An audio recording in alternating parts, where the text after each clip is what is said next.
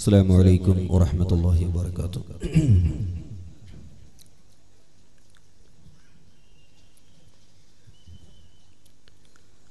أعوذ بالله من الشيطان الرجيم. بسم الله الرحمن الرحيم. الحمد لله رب العالمين. بسم الله عظيم القدرة والشان. شديد البطش والبرهان. حافظ الدين والقرآن. بسم الله ما شاء الله كان. وما لم يشأ لم يكن ولا حول ولا قوة إلا بالله العلي العظيم. بسم الله توكلت على الله ولا حول ولا قوة إلا بالله العلي العظيم. بسم الله توكلت على الله ولا حول ولا قوة إلا بالله العلي العظيم. اللهم صل وسلم وبارك على رسولك وحبيبك سيدنا محمد. وعلى آل وأصحاب سيدنا ومولانا محمد. الصلاة والسلام عليك يا رسول الله. الصلاة والسلام عليك يا حبيب الله. الصلاة والسلام عليك يا شفيع الله. السلام عليك وعلى أزواجك وعلى أهل بيتك وعلى آلك وعلى أصحابك وعلى جميع الأنبياء والمرسلين. وعلى جميع عباد الله الصالحين. نشهد أنك قد بلغت الرسالة وأديت الأمانة ونصحت الأمة وكشفت الغمة وجاهدت في الله حق جهادي وعبدت ربك حتى أتاك اليقين. فجزاك الله عنا أفضل وأكمل وأطيب وأحسن وأجزل ما جزى به نبيا عن أمتي. يا خير خلق الله ويا أشرف رسل الله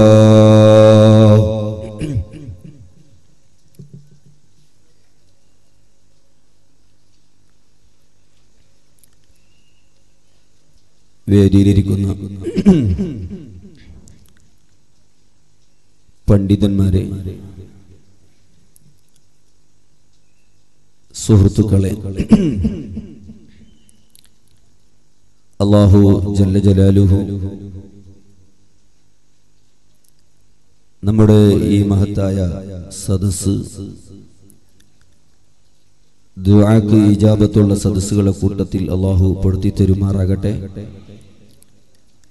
ഇതിന് നേതൃത്വം കൊടുക്കുന്ന നമ്മുടെ എല്ലാമായ ബഹുമാനപ്പെട്ട ഷെയ്ഖുന തങ്ങൾ ഉസ്താദ് അവർകൾക്ക് അള്ളാഹു ആഫിയത്തുള്ള ദീർഘായുസ് നൽകുമാറാകട്ടെ. അതുപോലെ സുന്നത്ത് ജമാഅത്തിന്റെ എല്ലാ അലിമീങ്ങൾക്കും സാദാത്തുക്കൾക്കും അള്ളാഹു ആഫിയത്തുള്ള ദീർഘായുസ് നൽകുമാറാകട്ടെ.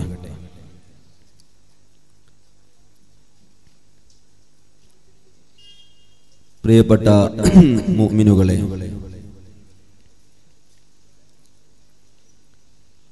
ബഹുമാനപ്പെട്ട സയ്യദ് തങ്ങളവറുകൾ വരുന്നത് വരെ ഒരൽപ്പം ഏതാനും ചില കാര്യങ്ങൾ നിങ്ങളുടെ ശ്രദ്ധയിൽപ്പെടുത്തി. ഞാൻ എന്റെ വാക്കുകൾ നിർത്തും.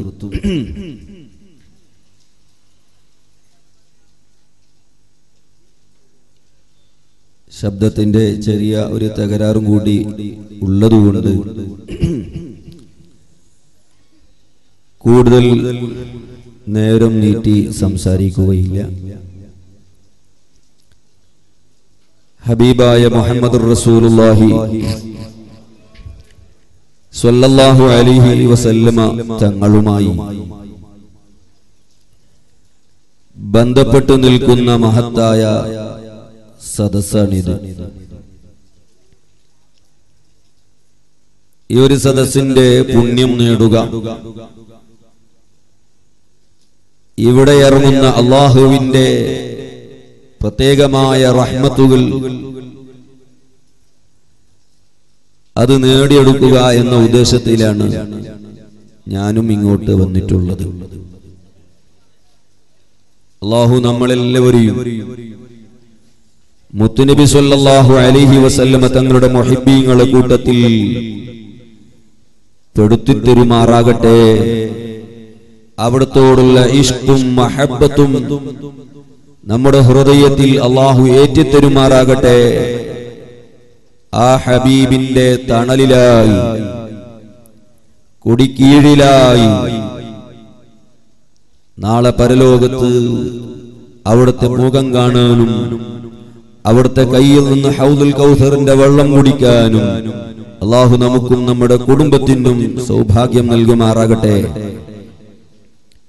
പ്രിയപ്പെട്ട മുഅ്മിനുകളെ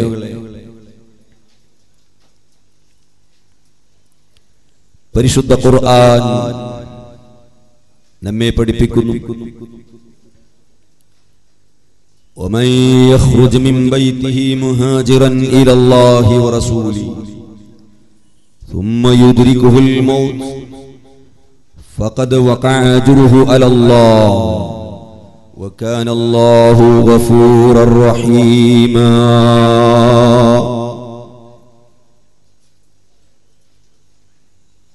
അള്ളാഹു സുബ്ഹാനഹു വതആല പരിശുദ്ധ ഖുർആനിൽ വളരെ വ്യക്തമായി നമ്മെ പഠിപ്പിച്ചു ومن يخرج من بيته مهاجرا إلى الله ورسوله ആരെങ്കിലും തന്റെ വീട്ടിൽ നിന്ന് അള്ളാഹുവിലേക്കും അവന്റെ റസൂലിലേക്കും അവിടുത്തെ സാന്നിധ്യത്തിലേക്ക് പോകാൻ വീട്ടിൽ നിന്ന് പുറപ്പെട്ടാൽ.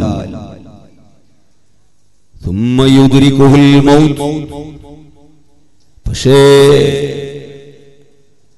അവന്റെ വീട്ടിൽ നിന്നവൻ പുറപ്പെട്ടാലും ഹബീബായ മുത്തുനബി സല്ലാഹു അലഹി വസല്ലമ തങ്ങളോ തങ്ങളുമായി ബന്ധപ്പെട്ട് നിൽക്കുന്ന വസ്തുക്കളോ അതിലേക്ക് എത്തിച്ചേരാൻ കഴിയാതെ ഇടയ്ക്ക് വെച്ചുകൊണ്ട് മരണപ്പെട്ടു പോയാൽ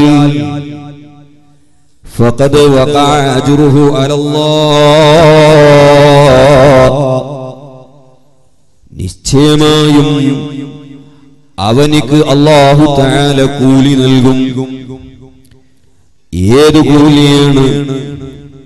മുഹമ്മദ് നബി സല്ലാഹു അലി വസല്ലമ തങ്ങളിലേക്കോ അതല്ലെങ്കിൽ ആ നബിയുമായി ബന്ധപ്പെടുന്ന വസ്തുവിലേക്കോ? ഏതാണോ അവൻ കരുതി പുറപ്പെട്ടിട്ടുള്ളത്. ആ സ്ഥലത്ത് പോയെത്തിയാൽ ഏത് പ്രതിഫലമാണോ റബ്ബ് കൊടുക്കുന്നത്? ആ പ്രതിഫലം അള്ളാഹു അവന് കൊടുക്കൊടുക്കും കേട്ടോ. ഫഖദ് അലല്ലാഹ്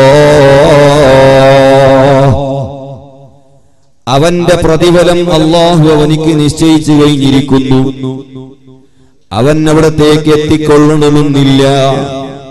വഴിയിൽ വെച്ചുകൊണ്ട് ആക്സിഡന്റായി അപകടത്തിൽ വെട്ട് മരണപ്പെട്ടു പോയാൽ അവൻ ഉദ്ദേശിച്ച സ്ഥലത്തേക്ക് എത്തിയാൽ കിട്ടുന്ന പ്രതിഫലം ഏതാണോ ആ പ്രതിഫലം യജമാനനായ റബ്ബ് കൊടുക്കുമെന്ന് പരിശുദ്ധ ഖുർആൻ وكان الله غفورا رحيما അള്ളാഹു പുറത്തു കൊടുക്കുന്നവനാണ് അവൻ കരുണ ചെയ്യുന്നവനാണ് അള്ളാഹു താല പരിശുദ്ധ ഖുർആനിൽ പറയുന്നു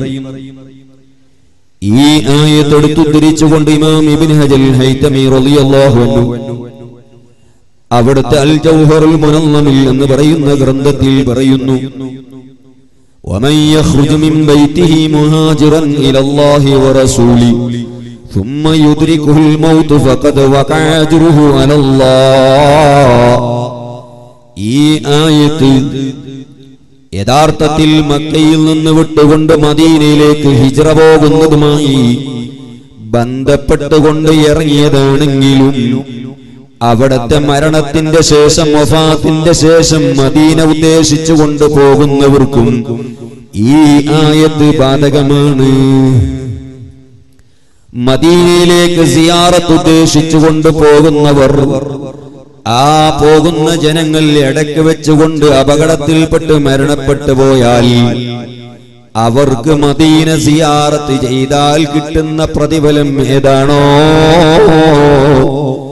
ആ പ്രതിഫലം റബ്ബ് കൊടുക്കും കേട്ടോ. അതുപോലെ മുഹമ്മദ് നബി സല്ലല്ലാഹു അലൈഹി വസല്ലമ തങ്ങളുമായി ബന്ധപ്പെട്ടു നിൽക്കുന്ന സദസ്സുകൾ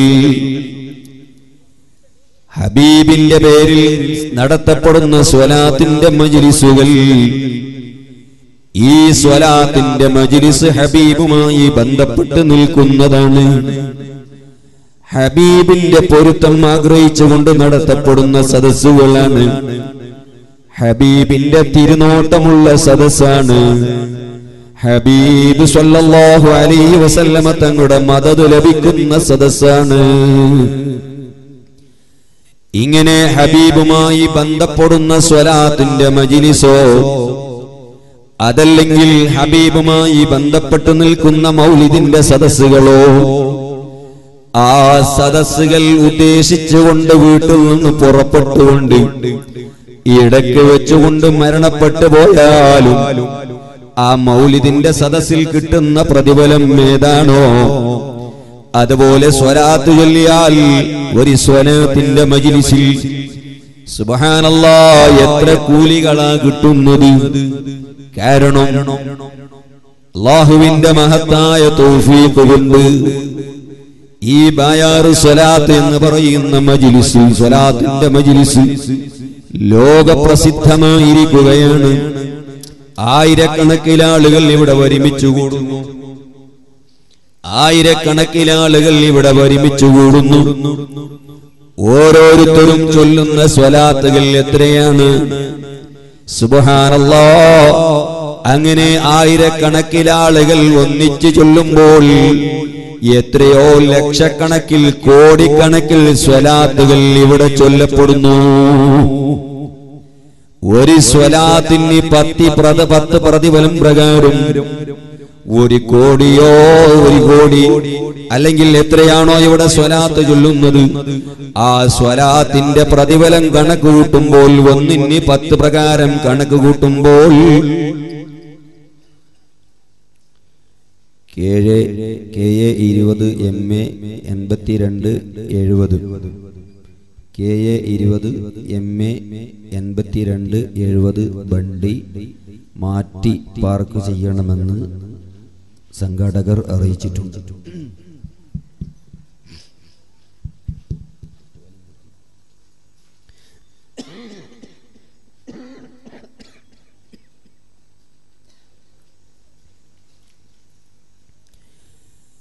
ഒരു സ്വലാത്തിന് പത്ത് പ്രതിഫലം പ്രകാരം ഇവിടെ ചൊല്ലപ്പെടുന്ന സ്വലാത്തിന്റെ പ്രതിഫലം കണക്ക് കൂട്ടിയാൽ എത്ര പ്രതിഫലമാണ് അതുകൊണ്ട് കിട്ടുക? ആ പ്രതിഫലം സ്വലാത്തിന്റെ മജിലിസ് ഉദ്ദേശിച്ചു കൊണ്ടുവന്നവൻ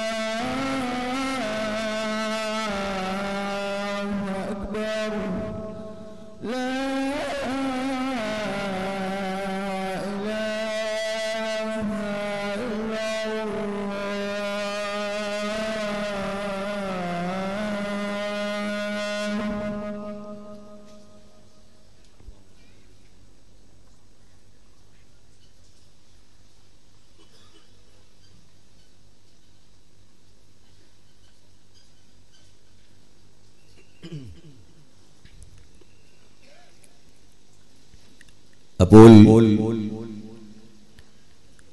ഒരു സ്വലാത്തിന്റെ മജിലിസിൽ കോടിയാനുകോടി പ്രതിഫലങ്ങളാണ് അള്ളാഹു താര നമുക്ക് തരുന്നത്. നിങ്ങൾ നോക്ക്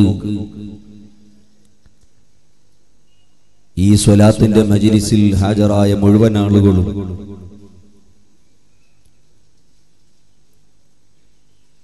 ഇവിടെ അനുഭവപ്പെട്ടിട്ടുള്ള ഒരുപാട് അത്ഭുത സംഭവങ്ങൾ. ഒരുപാട് അനുഭവങ്ങൾ അറിഞ്ഞവരാണ് നേരിട്ട് കണ്ടവരും അറിഞ്ഞവരുമാണ്. എന്തേ അതിന് കാരണം?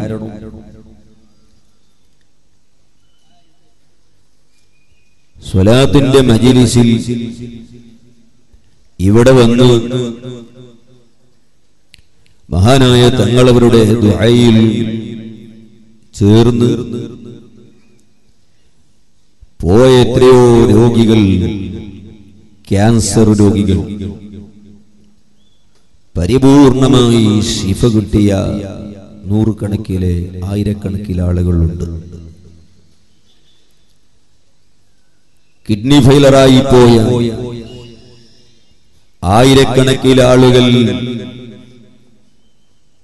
ഈ സ്വലാത്തിന്റെ മജിരിസുകൊണ്ട് കൊണ്ട് പൂർണമായി ശിവ ലഭിച്ചവരുണ്ട്.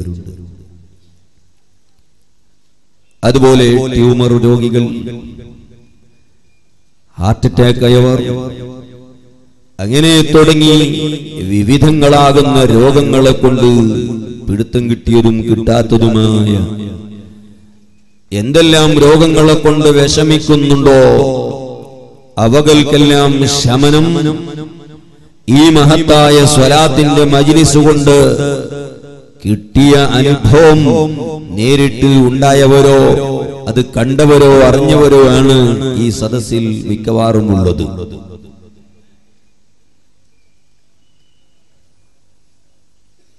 എന്തേ അതിന് കാരണം? ഞാൻ പറഞ്ഞല്ലോ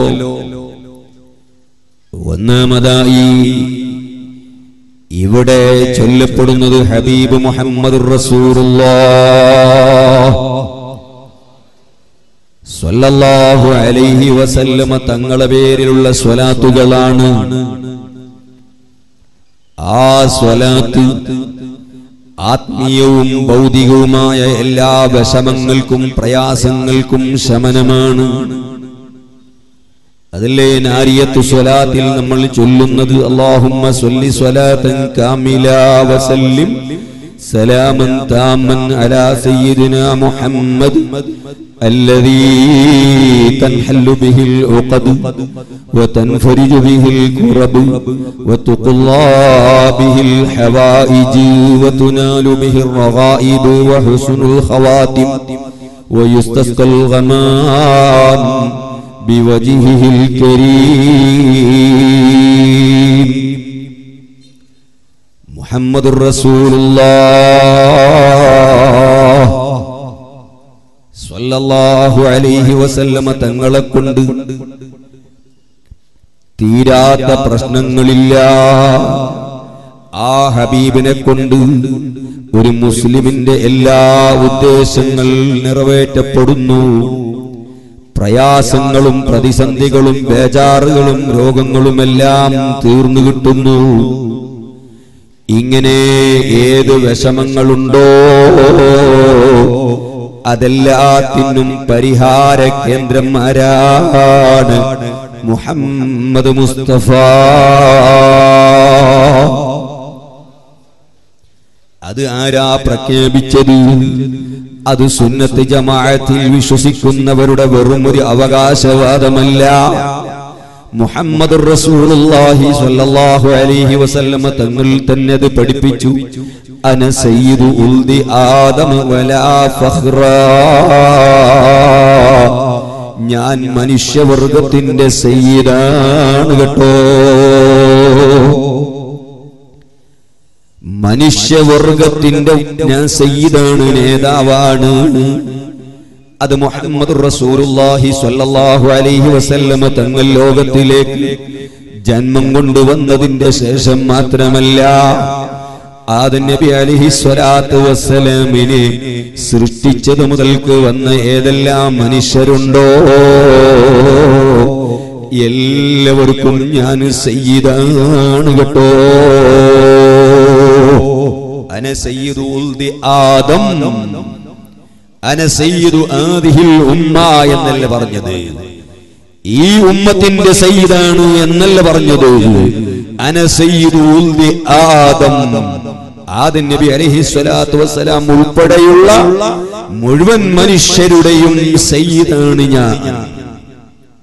എന്താണ് സയ്യിദിന്റെ അർത്ഥം? നമ്മൾ സാധാരണ പറയുന്നത് പോലെ ഒരു നേതാവെന്ന് മാത്രമല്ല സയ്യദ് എന്നതിന്റെ അർത്ഥം എന്താണറിയോ ഇമാം നബവി അവിടുത്തെ ഷറഹ് മുസ്ലിമിൽ വിശദീകരിച്ചു. സയ്യിദ് എന്നതിന്റെ അർത്ഥം അഭയകേന്ദ്രം. എല്ലാ പ്രയാസങ്ങളുണ്ടാകുമ്പോഴും രോഗങ്ങൾ വരുമ്പോഴും ഭൗതികവുമായ ആത്മീയമായ ഏതെല്ലാം വിഷമങ്ങളുണ്ടോ? ഏത് വിഷമങ്ങൾ വരുമ്പോഴും സഹായം തേടപ്പെടുന്ന മുസ്തഹാസുബിഹി സഹായം തേടപ്പെടുന്ന മനുഷ്യൻ അഥവാ നേതാവാണ് മുഹമ്മദ് റസൂലുള്ള. എല്ലാ പ്രശ്നങ്ങൾക്കും ഭൗതികവും അഭൗതികവുമായ ആത്മീയവുമായ ഏതെല്ലാം പ്രയാസങ്ങളുണ്ടോ ഏതൊരു പ്രയാസം മുസ്ലിമിന് വരുമ്പോഴും സഹായം ചോദിക്കപ്പെടാനുള്ള നേതാവാണ് മുഹമ്മദ് റസൂലുള്ള.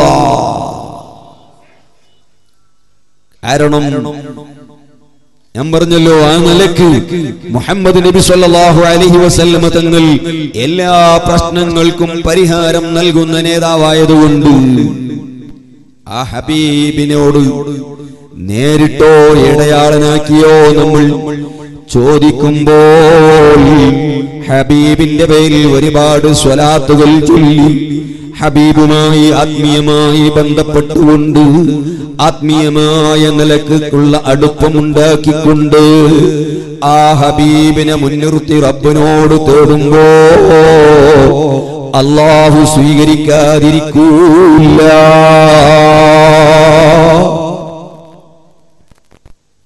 ഈമാനുള്ള കൽബിൽ ഈമാനുള്ളവർ ഒരു കടുമണി തൂക്കത്തിന്റെങ്കിലും കതിർ ഹൃദയത്തിൽ ഈമാനുള്ളവരാണെങ്കിൽ മുഹമ്മദ് നബി സല്ലല്ലാഹു അലൈഹി വസല്ലമ തങ്ങളുടെ സ്വലാത്തിന്റെ മജ്ലിസോ ആ സ്വലാത്ത് മജ്ലിസിൽ ഉണ്ടാകുന്ന അത്ഭുതങ്ങളോ ഒരു മുസ്ലിമും ഹൃദയത്തിൽ ഈമാനുള്ളവൻ ഒരിക്കലും നിഷേധിക്കൂല.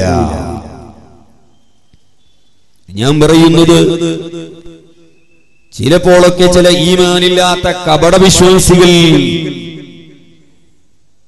മുസ്ലിം എന്ന പേര് വെച്ച് നടക്കുന്ന കപടന്മാർ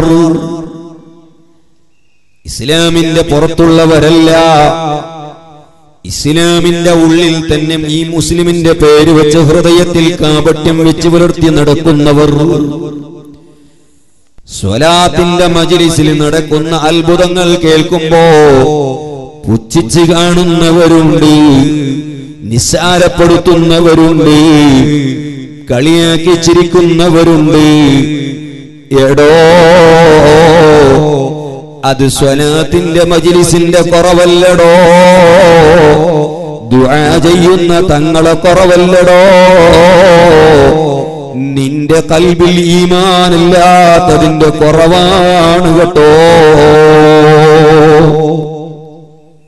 മുഹമ്മദ് റസൂലുള്ളാഹി സ്വല്ലല്ലാഹു അലൈഹി വസല്ലമ തങ്ങൾ ആ നബിയെ മനസ്സിലാക്കേണ്ടതുപോലെ നീ മനസ്സിലാക്കിയില്ല. ഹബീബിനെ കൊണ്ടുള്ള പ്രശ്നപരിഹാരം ഉണ്ടാകുന്നത് നീ മനസ്സിലാക്കിയില്ല. അന النبي أولى بالمؤمنين മിൻ അൻഫുസിഹിം. എന്ന ആയത്ത് നബി സല്ലല്ലാഹു അലൈഹി വസല്ലമ തങ്ങൾ തന്നെ എടുത്തു ധരിച്ചുകൊണ്ട് പറഞ്ഞു ഞാൻ മുഅ്മിനീങ്ങളുമായി ഏറ്റവും കടമപ്പെട്ടവനാണ് ബന്ധപ്പെട്ടു നിൽക്കുന്നവനാണ്. എന്ന് നബി സല്ലല്ലാഹു അലൈഹി വസല്ലമ തങ്ങൾ തന്നെ ആയത്തോതി പറഞ്ഞു ഓ ജനങ്ങളെ നിങ്ങൾ മരി നിങ്ങൾ മരിക്കുമ്പോൾ വല്ല കടങ്ങളും നിങ്ങൾക്കുണ്ടെങ്കിൽ ആ കടം വീട്ടാൻ എന്നെ വിളിച്ചോളൂ. ഞാൻ ആത്മീയമായി സഹായിക്കാം. മുഹമ്മദ് മുസ്തഫ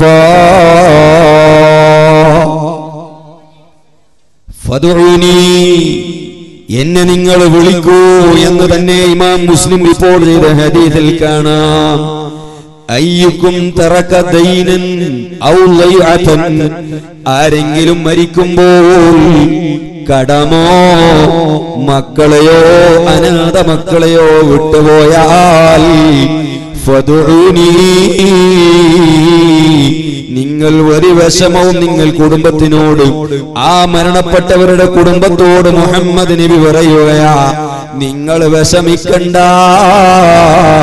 നിങ്ങൾ സങ്കടപ്പെടണ്ട എന്നെ നിങ്ങൾ വിളിച്ചോ?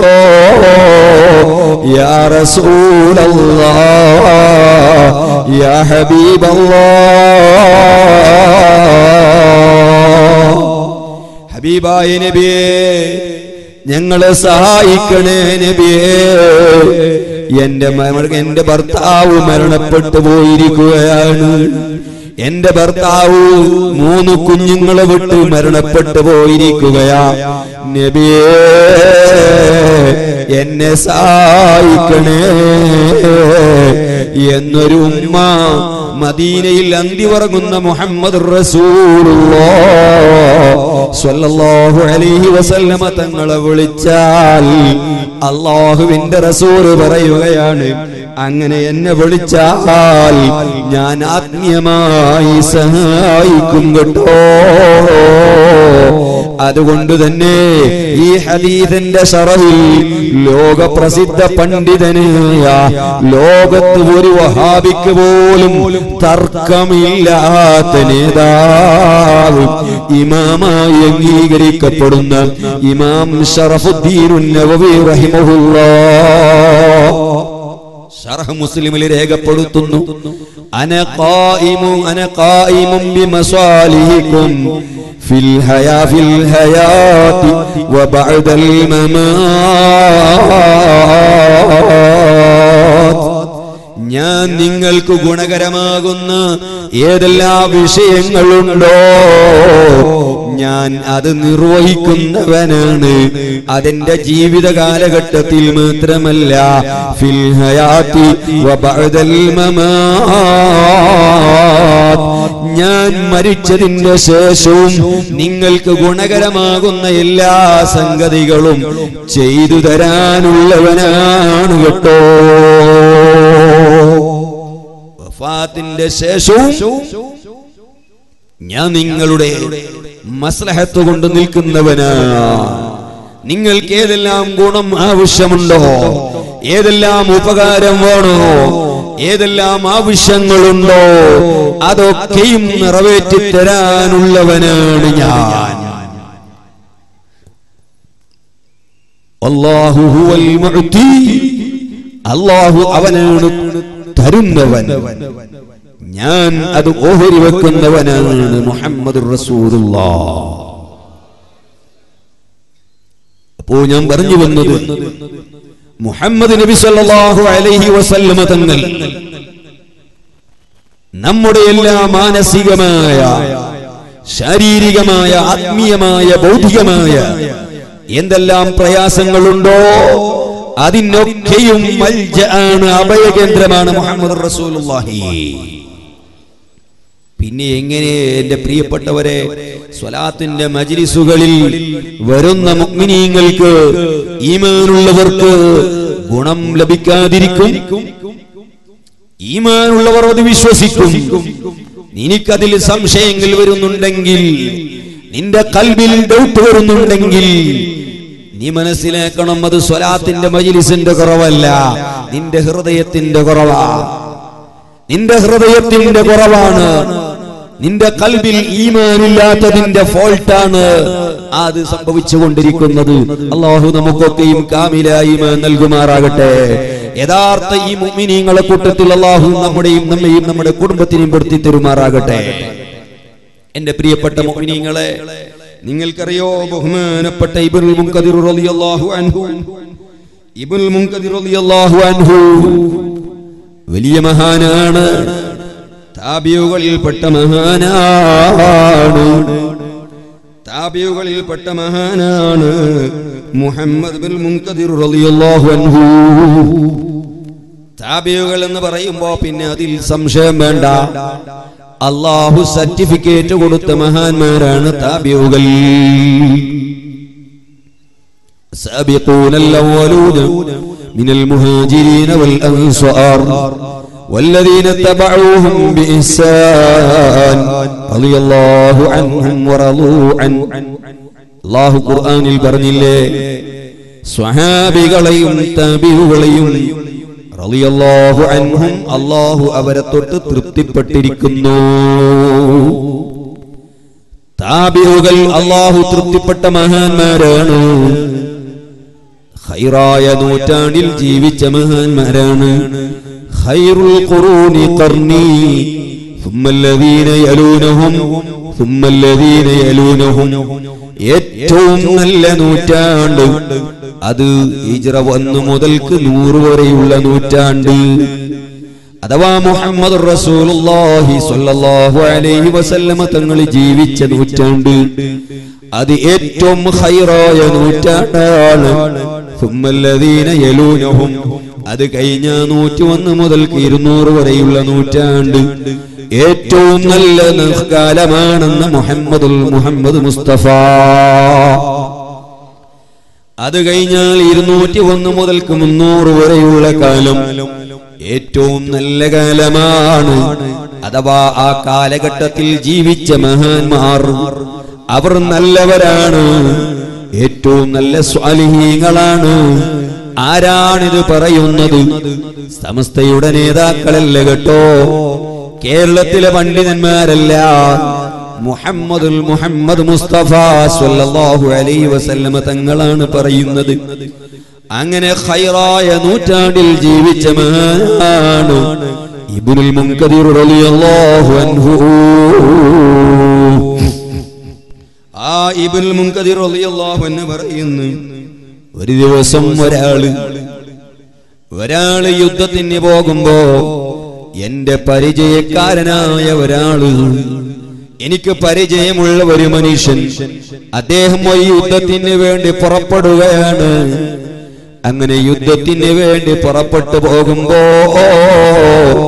അദ്ദേഹത്തിന്റെ കയ്യിലുള്ള എൺപത് ദീനാർ.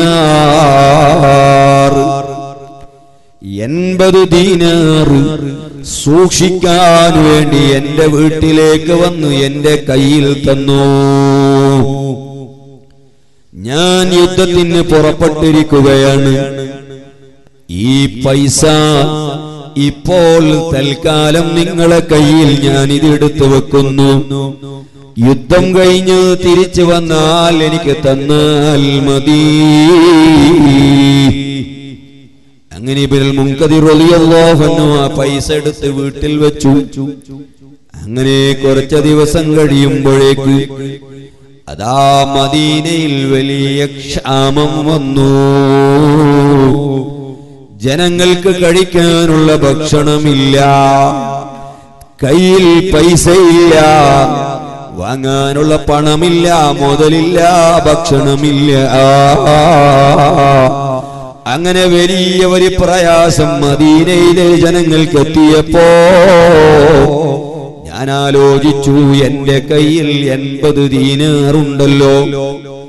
ഈ പണം എന്റെ അടുത്ത് സൂക്ഷിക്കാൻ വേണ്ടി തന്നതാണെങ്കിലും അദ്ദേഹം വരുമ്പോഴേക്ക് കുറച്ച് ദിവസം കഴിയുമല്ലോ. അപ്പോഴേക്ക് ഞാൻ തിരിച്ചു കൊടുത്താൽ മതി. ഇപ്പോൾ ഈ പണം നാട്ടിലുള്ള സൗദുക്കൾക്ക് പണമില്ലാതെ തിന്നാനില്ലാതെ വിഷമിക്കുന്ന നട്ടം തിരിയുന്ന സാധുക്കൾക്ക് ഇനി കൊടുക്കാമല്ലോ. ഞാൻ ആലോചിച്ചു.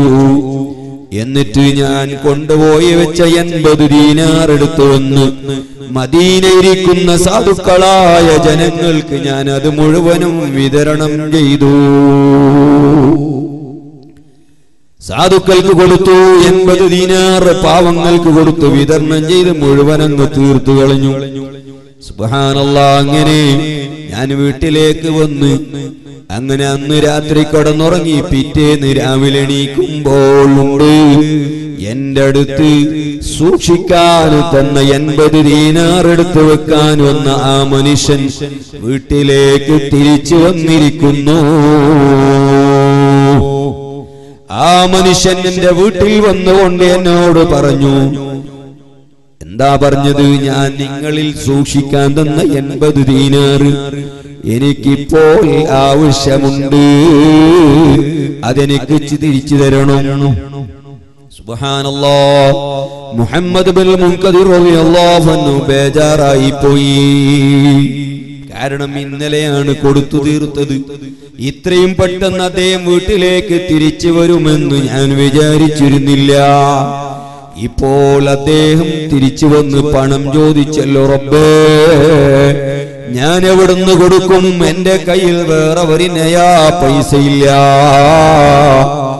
ഞാൻ സഹോദരനോട് പറഞ്ഞു മോനെ നിങ്ങൾ നാളെ വന്നോളൂ. ഞാൻ നിങ്ങൾക്ക് നാളെ തരാം.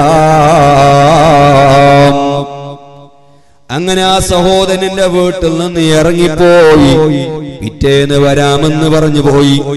ഞാൻ നേരെ പോയി എവിടത്തേക്ക്? അതല്ലേ മുഹമ്മദ്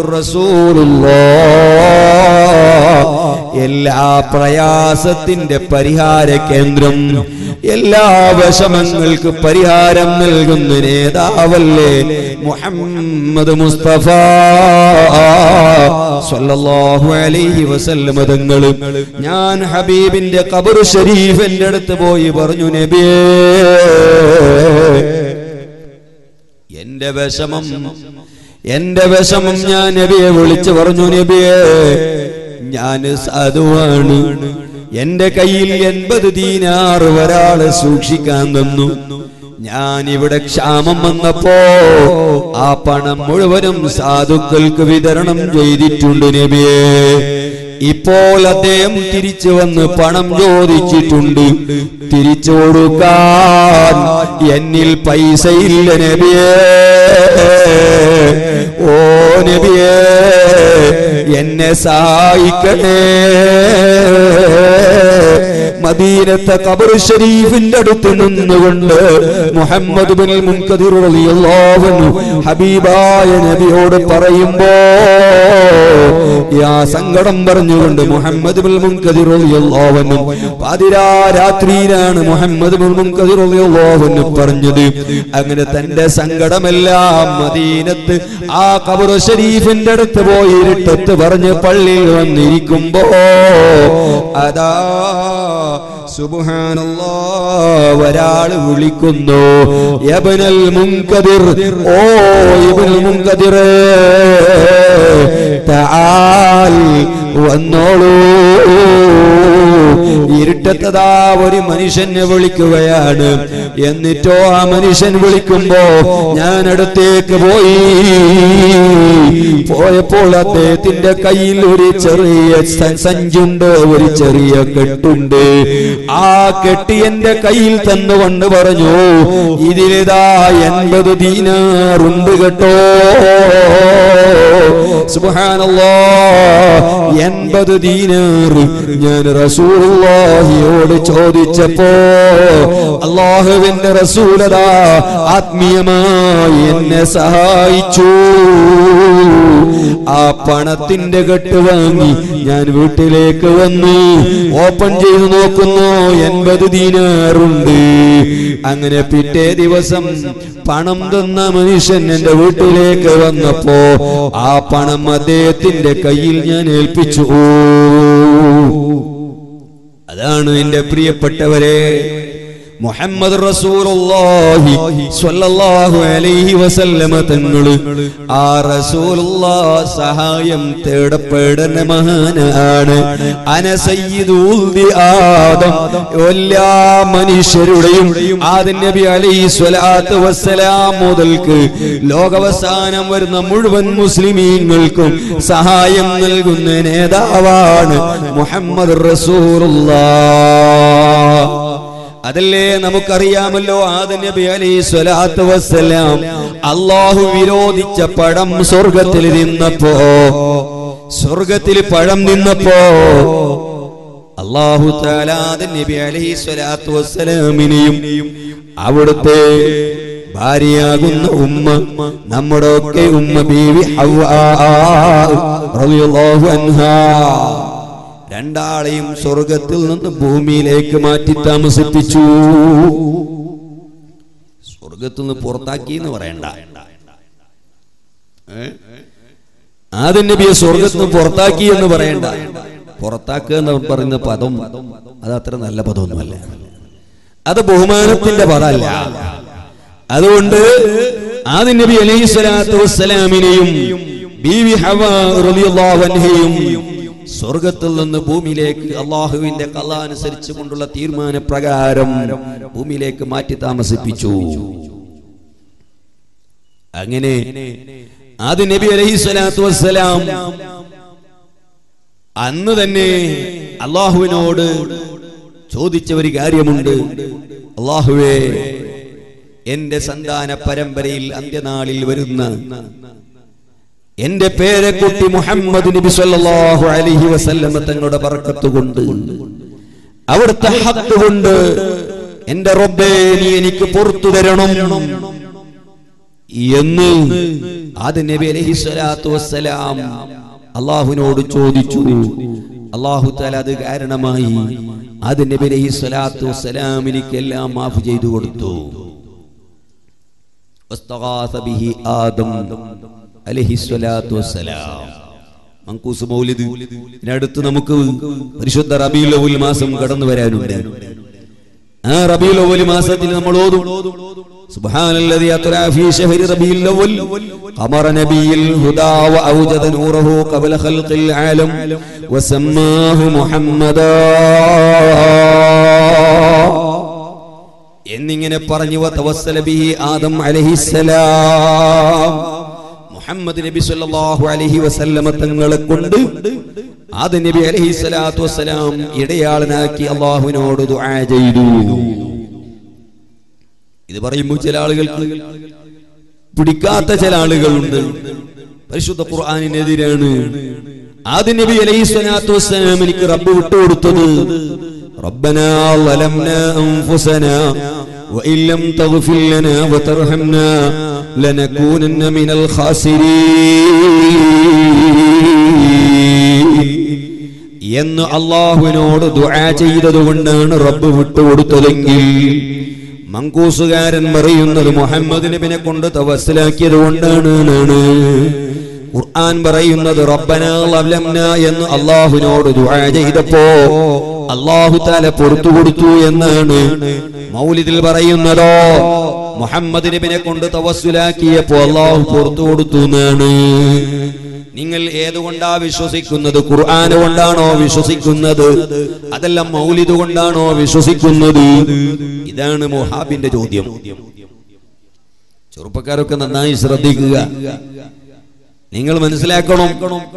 പരിശുദ്ധ ഖുർആനിൽ വഹാബി പറഞ്ഞതുപോലെ റബ്ബന അൻഫുസനാ وإن لم تغفر لنا وترحمنا لنكونن من الخاسرين എന്ന് ദുആ നടത്തിയപ്പോ ആദ്യ നബിക്ക് അള്ളാഹു വിട്ടുകൊടുത്തു പുറത്തു മാഫാക്കി കൊടുത്തു എന്ന് ഖുർആനിൽ എവിടെയുമില്ല ഖുർആനിൽ ഒരു സ്ഥലത്തും ഇല്ല ആദ്യ നബി അലൈഹി സ്വലാത്തു വസ്സലാം അങ്ങനെ പറഞ്ഞു എന്ന് മാത്രമേ ഉള്ളൂ അത് പറഞ്ഞതുകൊണ്ട് റബ്ബ് പുറത്തു കൊടുത്തു എന്ന് ഖുർആനിലില്ല അത് ഇവന്റെ എക്സ്ട്രാ ഫിറ്റിംഗ് ആണ്. അത് പറഞ്ഞപ്പോഴാണ് അള്ളാഹു മാഫാക്കി കൊടുത്തത് എന്ന് ഖുർആാനിലില്ല. അതിവൻ ഇവന്റെ കീശയിൽ നിന്ന് കൂട്ടിയതാ ആദ്യ നബി അലൈഹി സ്വലാത്തു വസ്സലാം അങ്ങനെ ദ്വായിരുന്നു എന്ന് മാത്രമേ ഉള്ളൂ. അതുകൊണ്ട് മാത്രം അള്ളാഹു തല പുറത്തു കൊടുത്തു ഖുർആാനിലില്ല. ഖുർആനിലില്ല അതുകൊണ്ടിരിക്കട്ടെ സാന്ദർഭികമായി ഞാൻ പറഞ്ഞത് ആദ്യം നബി അലൈഹി സ്വലാത്തു വസ്സലാം മുതൽക്ക് തന്നെ മുഹമ്മദ് നബിയോട് സഹായം ചോദിക്കാനും അവിടുന്ന് അഭയകേന്ദ്രമായി കാണാനും അന്നേ തുടങ്ങിയിട്ടുണ്ട്. അതാണ് ആദം. ഞാൻ മനുഷ്യവർഗത്തിന്റെ നേതാവാണ് എന്ന് പറഞ്ഞാൽ മുഴുവൻ മനുഷ്യർക്കും ഞാൻ സഹായം തേടപ്പെടേണ്ട ആളാ.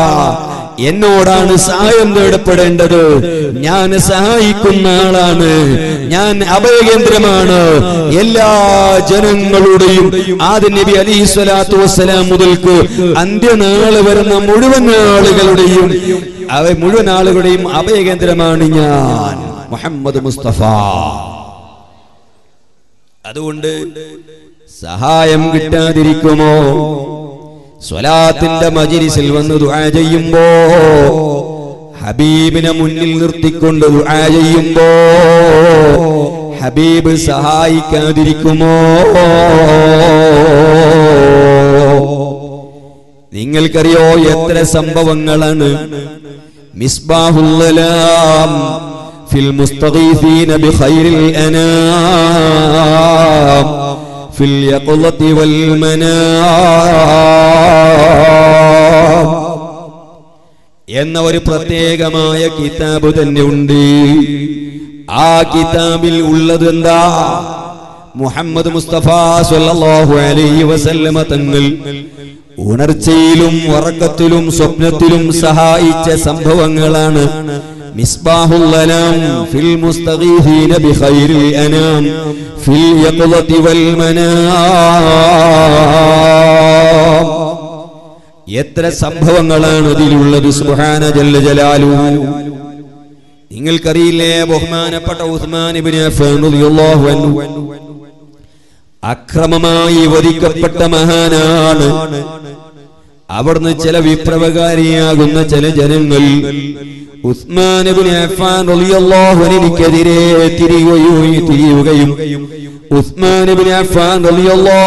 കൊല്ലാൻ വേണ്ടി ശ്രമിച്ചു.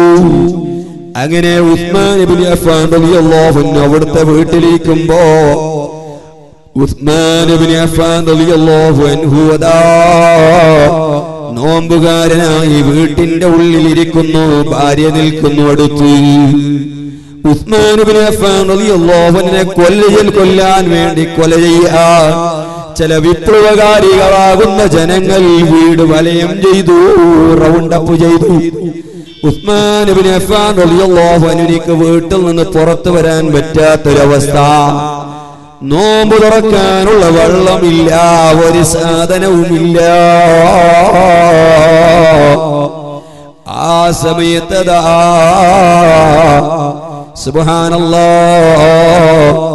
ആ വീട്ടിന്റെ മുകൾ ഭാഗത്തിലൂടെ പ്രത്യക്ഷപ്പെടുന്നു. ആരാ പ്രത്യക്ഷപ്പെടുന്നത്? സയ്യിദുന മുഹമ്മദ്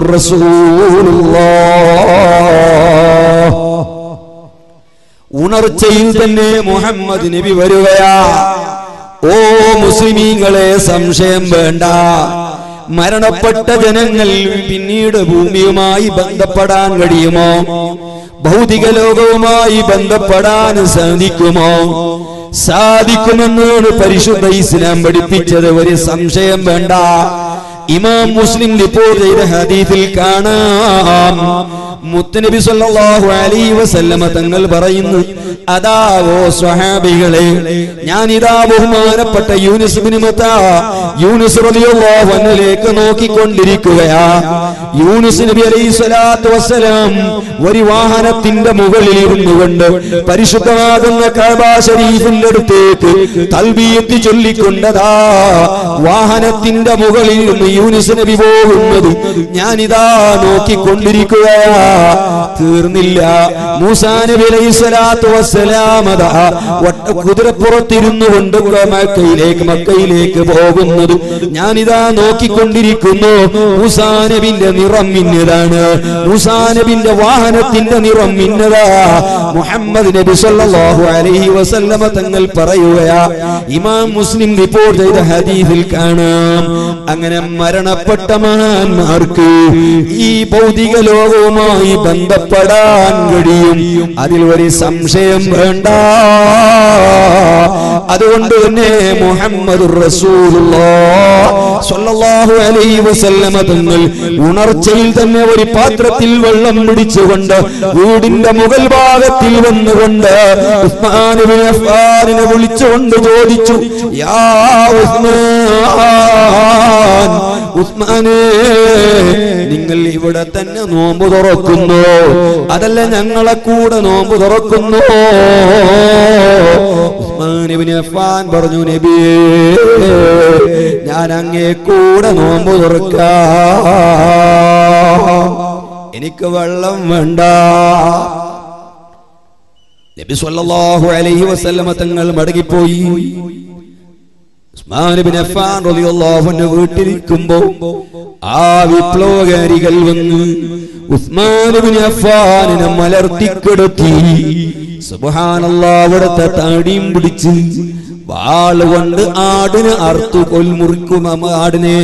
അറുക്കുന്നത് പോലെ ഉസ്മാൻ ഇബ്നു അഫ്ഫാനിനെ അറുത്തു കൊന്നുകളഞ്ഞു കളഞ്ഞു. ബഹുമാനപ്പെട്ട ഹാഫിദ് കസീർ അവിടുത്തെ അൽബിദായത്ത് വന്നിഹായിൽ ഈ സംഭവം ഉദ്ധരിക്കുന്നു. ഞാൻ പറഞ്ഞു വന്നത് മുഹമ്മദ് നബി സല്ലല്ലാഹു അലൈഹി വസല്ലം തങ്ങൾ എല്ലാ പ്രശ്നങ്ങൾക്കും സഹായിക്കുന്ന നേതാവാണ്. എല്ലാത്തിനും പരിഹാരം നൽകുന്ന നേതാവാലു ജല്ല ജലാലു എത്ര സംഭവങ്ങളാ. നബി സല്ലല്ലാഹു അലൈഹി വസല്ലം തങ്ങൾ ഉണർച്ചയിൽ തന്നെ വരുമെന്ന് പറയുമ്പോ മൻ റആനി ഫിൽ മനാമി ഫസയറാനി ഫൽ യഖ്ലാ أو كما قال رسول الله അള്ളാഹുവിന്റെ റസൂൽ പറഞ്ഞു സ്വപ്നത്തിൽ കിനാവിൽ ആരെങ്കിലും എന്നെ കണ്ടാൽ അവൻ ഉണർച്ചയിൽ എന്നെ കാണും സ്വപ്നത്തിൽ കണ്ടാൽ ഉണർച്ചയിൽ കാണും പക്ഷേ ഇവിടെ ഒരു കാര്യം മനസ്സിലാക്കണം ഉണർച്ചയിൽ കാണുമെന്ന് പറയുമ്പോ ഇത് ദുരുപയോഗം ചെയ്യുന്ന ഒരുപാട് കള്ളശേഷന്മാരുണ്ട് ഒരുപാട് കള്ളത്തൊരീക്കത്തുകാരുണ്ട്. എടുത്തൊരു ശേഖനെ പറ്റി പറയുന്നത് കേട്ടു. ആ ഷെയ്ഖ് തന്റെ മുരീതായ മുഴുവൻ ആളുകൾ അവരെ മുന്നിൽ നിർത്തി പറയും ഇതാ എന്റെ വലത്തെ ഭാഗത്തേക്ക് നോക്ക്. എന്റെ വലത്തെ ഭാഗത്ത് ഞാൻ മുഹമ്മദ് നബിനെ കാണിച്ചു തരുന്നു. അങ്ങനെ മുരീതായ ആളുകൾക്കൊക്കെ വലഭാഗത്തിലൂടെ മുഹമ്മദ് നബി സല്ലല്ലാഹു അലൈഹി വസല്ലമ തങ്ങളെ കാണിച്ചു കൊടുക്കുന്ന ഒരു കള്ള ഷെയ്ഖ് ഇങ്ങനെ എല്ലാ കള്ള ശൈഖന്മാരും ചെയ്യുന്നുണ്ട്. ബഹുമാനപ്പെട്ട ഇമാം ഷാറാനി റളിയല്ലാഹു അൻഹു. മുഴുവൻ തരീഖത്തുകാരുടെയും അല്ലെങ്കിൽ മഷായിഖന്മാരുടെ നേതാവും ബഹുമാനപ്പെട്ട ഇമാം ഷാറാനി റളിയല്ലാഹു അൻഹു. സുബ്ഹാനല്ലാഹ് ത്വരീഖത്തുമായി തസവ്വുഫുമായി അദ്ദേഹം എഴുതിയ കിതാബുകൾ എത്രയാണ്? എത്ര കിതാബുകളാണ് മഹാനവറുകൾ രചിച്ചിട്ടുള്ളത്? ആ മഹാനവറുകൾ തന്റെ കിതാബിൽ പറഞ്ഞു അല്യവാഖിത്തുൽ ജവാഹിൽ പറഞ്ഞു നബി സല്ലല്ലാഹു അലൈഹി വസല്ലമ തങ്ങളെ ഉണർച്ചയിൽ കാണണമെങ്കിൽ രണ്ട് ലക്ഷത്തി നാൽപ്പത്തിയേഴായിരം. മക്കാമുകൾ ഹിജാബുകൾ വിട്ടുകിടക്കണം. എന്നാലേ ഉണർച്ചയിൽ കാണാനുള്ള മക്കാമിലേക്ക് പദവിയിലേക്ക് എത്തുകയുള്ളൂ. രണ്ട് ലക്ഷത്തി നാൽപ്പത്തി ഏഴായിരം മക്കാമുകൾ ഹിജാബുകൾ ഉണ്ട് മുഹമ്മദ് നബിനെ ഉണർച്ചയിൽ കാണുന്നതിന് ആ ഹിജാബ് വിട്ടുകടന്നിട്ട് വേണം കാണണമെങ്കിൽ. ഇതോ കിട്ടിയ കിട്ടിയ ജനങ്ങളൊക്കെ ഏതാനും നാല് ദിക്കറുകൾ കൊടുത്ത് ഞാൻ മുഹമ്മദ് നബിനെ ഉണർച്ചയിൽ നിങ്ങൾക്ക് കാണിച്ചു തരാം എന്ന് പറയുന്ന കുറെ കള്ളന്മാരുണ്ട്. ആ കള്ളന്മാരെ പിന്നെയിൽ പോകുന്ന കുറെ മുസ്ലിയാക്കന്മാരുണ്ട്. അള്ളാഹു കാത്തു സലാമത്താക്കി തെരുമാറാകട്ടെ. ഒരു സ്വർണം കളഞ്ഞു കിട്ടിയിട്ടുണ്ട്. തെളിവ് സഹിതം ഓഫീസിൽ ബന്ധപ്പെടുക. സ്ത്രീകൾ ശ്രദ്ധിക്കുക. ഏതോ ഒരു സ്ത്രീയുടെ സ്വർണം വീണ് കിട്ടിയിട്ടുണ്ട് വോളണ്ടിയർമാർക്ക്. അതിന്റെ ഉടമകൾ അതിന്റെ തെളിവുമായി ഓഫീസിൽ ബന്ധപ്പെട്ടാൽ നിങ്ങൾക്കത് തിരിച്ച് ലഭിക്കും. ഞാൻ പറഞ്ഞു വന്നത് അങ്ങനെ ഒരുപാട് കള്ള ശൈഖന്മാർ നിറഞ്ഞിട്ടുണ്ട് അള്ളാഹു നിന്ന് ഈ മുസ്ലിം ഉമ്മത്തിനെ കാക്കുമാറാകട്ടെ. അതിന്റെ ഏറ്റവും വലിയ പ്രചാരകന്മാരാകുന്നത് ഇന്ന് ചില തലയെക്കെട്ട് കിട്ടിയ മുസ്ലിയാക്കന്മാരാ ഈ കള്ളത്തൊരീക്കത്തുകാരുടെ പ്രചകരൻ പ്രചാരകന്മാർ ഒരുപാട് മുസ്ലിയാക്കന്മാർ തഹസീലായ മുസ്ലിയാക്കന്മാർ ദർസ് നടത്തുന്ന മുസ്ലിയാക്കന്മാർ ഇന്ന് കരിച്ചില ചില കള്ളശൈഖന്മാരെ ചതിയിൽ പെട്ടുപോയിട്ടുണ്ട് അള്ളാഹു അവർക്ക് ഹിതായത്ത് നൽകുമാറാകട്ടെ. എന്റെ പ്രിയപ്പെട്ടവരെ ഞാൻ അതിലേക്ക് കടക്കുകയല്ല? പറഞ്ഞു വന്നത് മുഹമ്മദ് നബി സല്ലല്ലാഹു അലൈഹി വസല്ലം തങ്ങൾ സ്വപ്നത്തിൽ സഹായിക്കുന്നു ഉണർച്ചയിലും സഹായിക്കുന്നു. എത്ര എത്ര സംഭവങ്ങളാണ് ബഹുമാനപ്പെട്ട അബുൽ ഖാസിം ഉബൈദുല്ലാഹി ഇബ്നു മൻസൂർ റളിയല്ലാഹു അൻഹു. അദ്ദേഹം പറയുന്നു ഉബൈദുല്ലാഹി ഇബ്നു മൻസൂർ റളിയല്ലാഹു അൻഹു പറയുന്നു എന്റെ പിതാവ് മൻസൂർ എന്ന് പറയുന്ന ഒരാൾ എല്ലാ ദിവസവും എന്നോട് കടം ചോദിക്കും. എല്ലാ ദിവസവും എന്നോട് കടം ചോദിക്കും. അങ്ങനെ ഞാൻ ദിവസവും എന്റെ ബാപ്പാക്ക് കടം കൊടുക്കും. അങ്ങനെ കടം കൊടുത്തു ആ കടം എപ്പോഴാ തിരിച്ചു തരുന്നത്?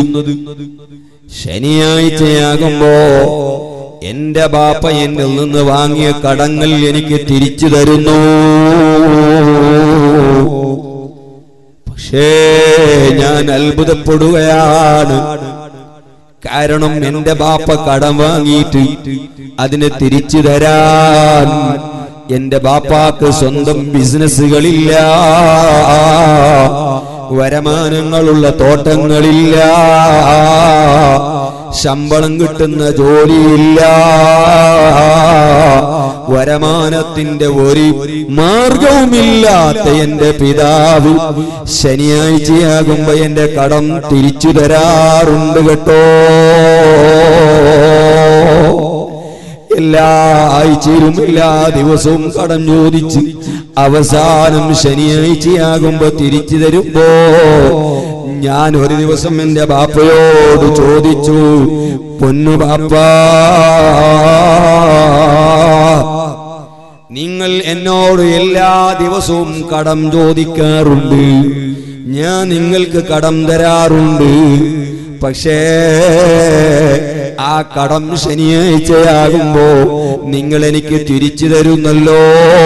നിങ്ങൾക്ക് എവിടെ നിന്നാണ് പണം കിട്ടുന്നത്? നിങ്ങൾ കയ്യിൽ വരുമാനത്തിന്റെ ഒരു മാർഗവും ഇല്ലല്ലോ. പണം കിട്ടാനുള്ള ഒരു മാർഗവും ഇല്ല തോട്ടങ്ങളില്ല. ശമ്പളമില്ല. ഒന്നുമില്ലാത്ത നിങ്ങൾ എവിടെ നിന്നാണ് തിരിച്ചു തരുന്നത്? ഞാൻ എന്റെ ബാപ്പയോട് ചോദിക്കുമ്പോ എന്റെ ബാപ്പ പറഞ്ഞു മോനെ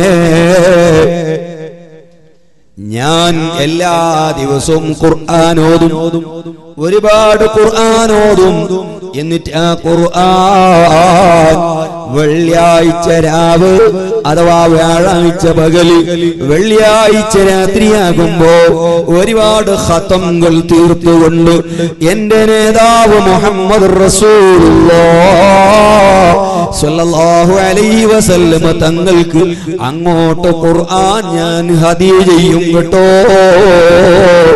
ആ ഖുർആൻ ഖതം തീർത്ത് നബിക്ക് ഹദിയ ചെയ്ത് ഞാൻ എന്റെ ഹബീബിനോട് എന്റെ സങ്കടം പറയും. അങ്ങനെ സങ്കടം പറഞ്ഞാൽ ഹബീബ് നബി സല്ലല്ലാഹു അലൈഹി വസല്ലം തങ്ങളതാ കടം തിരിച്ചു തരാനുള്ള പണം എന്നിലേക്ക് ഏൽപ്പിക്കുന്നു കേട്ടോ.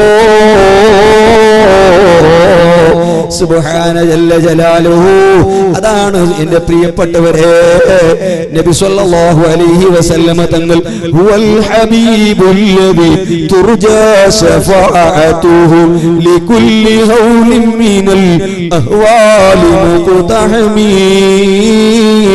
مولاي صل وسلم دائما ابدا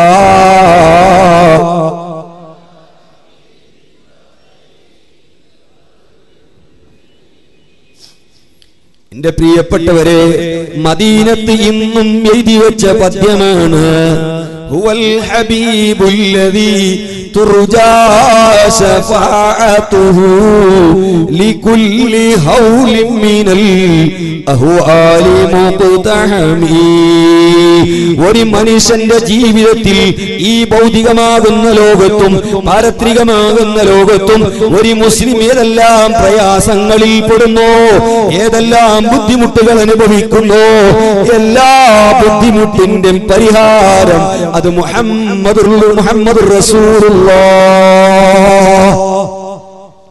ഈ പദ്യം ഇമാം ബൂസിരി റളിയല്ലാഹു അൻഹു ചൊല്ലിയത് അതാ ഇന്നും മദീനയിൽ എഴുതി വെച്ചിട്ടുണ്ട്.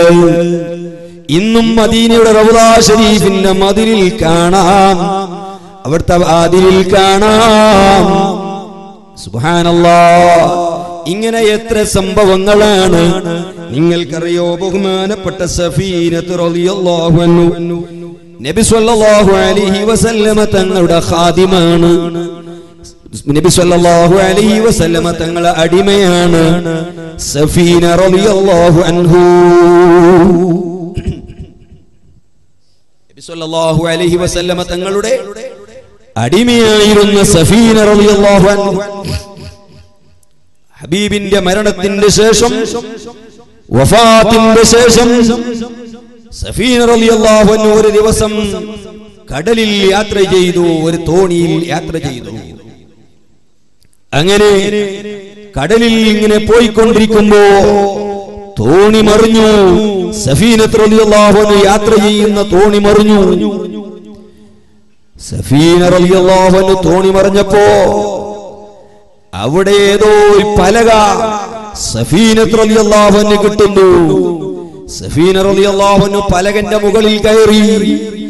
അങ്ങനെ പലകയിൽ കയറി സഫീന റളിയല്ലാഹു അതാ കരയിലേക്ക് എത്തുന്നു. കരയിൽ എത്തിപ്പെട്ടുകൊണ്ട് കടപ്പുറത്ത് ഇങ്ങനെ കയറി കരയിൽ ഇങ്ങനെ കയറി നോക്കുമ്പോ താൻ എത്തിപ്പെട്ട സ്ഥലമാണെങ്കിലോ? സുബ്ഹാനല്ലാഹ് ഭയാനകമാകുന്ന ഒരു സ്ഥലമാണ്. ഒരു മനുഷ്യനുമില്ലാത്ത സ്ഥലമാണ് സുബാനുള്ള കാട് നിൽക്കുന്ന സ്ഥലം മരക്കൂട്ടങ്ങൾ ഇരിക്കുന്ന സ്ഥലം. ആ സ്ഥലത്ത് ഇങ്ങനെ കാൽ വെച്ചപ്പോ ഉഗ്രനായ ഒരു സഫീന റലിയല്ലാവനിന്റെ ശരീരത്തിലേക്ക് ചാടാൻ ഇങ്ങനെ നിൽക്കുന്നു. മുകളിലേക്ക് ശരീരത്തേക്ക് വേദാവുഗ്രനായ ഒരു സിംഹം ഇങ്ങനെ ചാടാതിക്കുമ്പോ സഫീന റളിയല്ലാഹു പറയുന്നു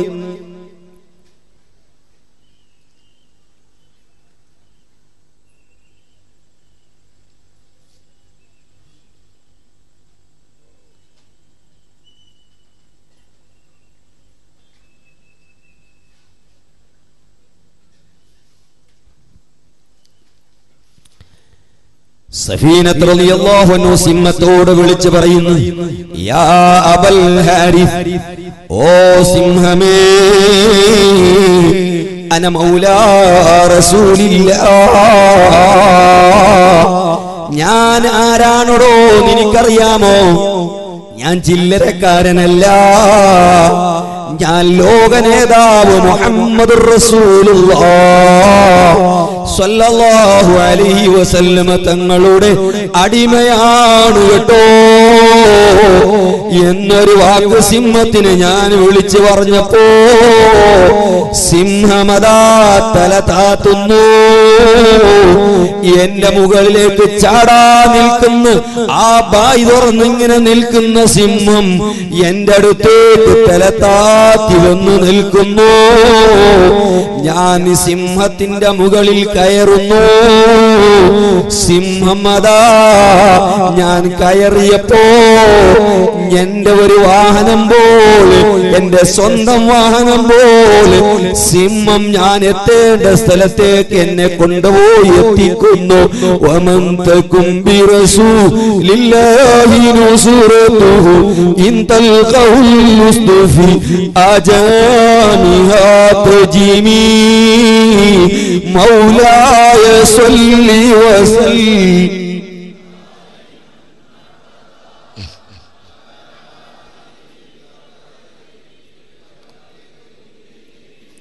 ഇമാം ബൂസിരി റളിയല്ലാഹു അൻഹു ഈ സംഭവത്തിലേക്ക് സൂചനയായിട്ടാണ് അവിടുന്ന് ഒരു വരി പദ്യം അങ്ങ് ചൊല്ലിയത്.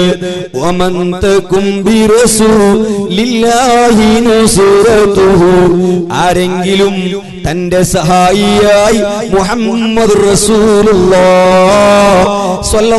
അലൈഹി വസല്ലമ തങ്ങളെ സ്വീകരിച്ചാൽ തന്റെ സഹായിയായി അള്ളാഹുവിനെ റസൂലിനെ കണ്ടാൽ ഇൻ മുസ്തുഫി ആജാമി തജിമി മരക്കൂട്ടങ്ങൾക്കിടയിൽ നിൽക്കുന്ന ഉഗ്രനായ സിംഹം ആ സിംഹത്തിന്റെ മുന്നിൽ എത്തിപ്പെട്ടാൽ പോലും സിംഹം തല താത്തി കൊടുക്കുമെന്ന് ഇമാം അൻഹു ബുർദയിൽ ചൊല്ലിയത് അതുകൊണ്ടാ.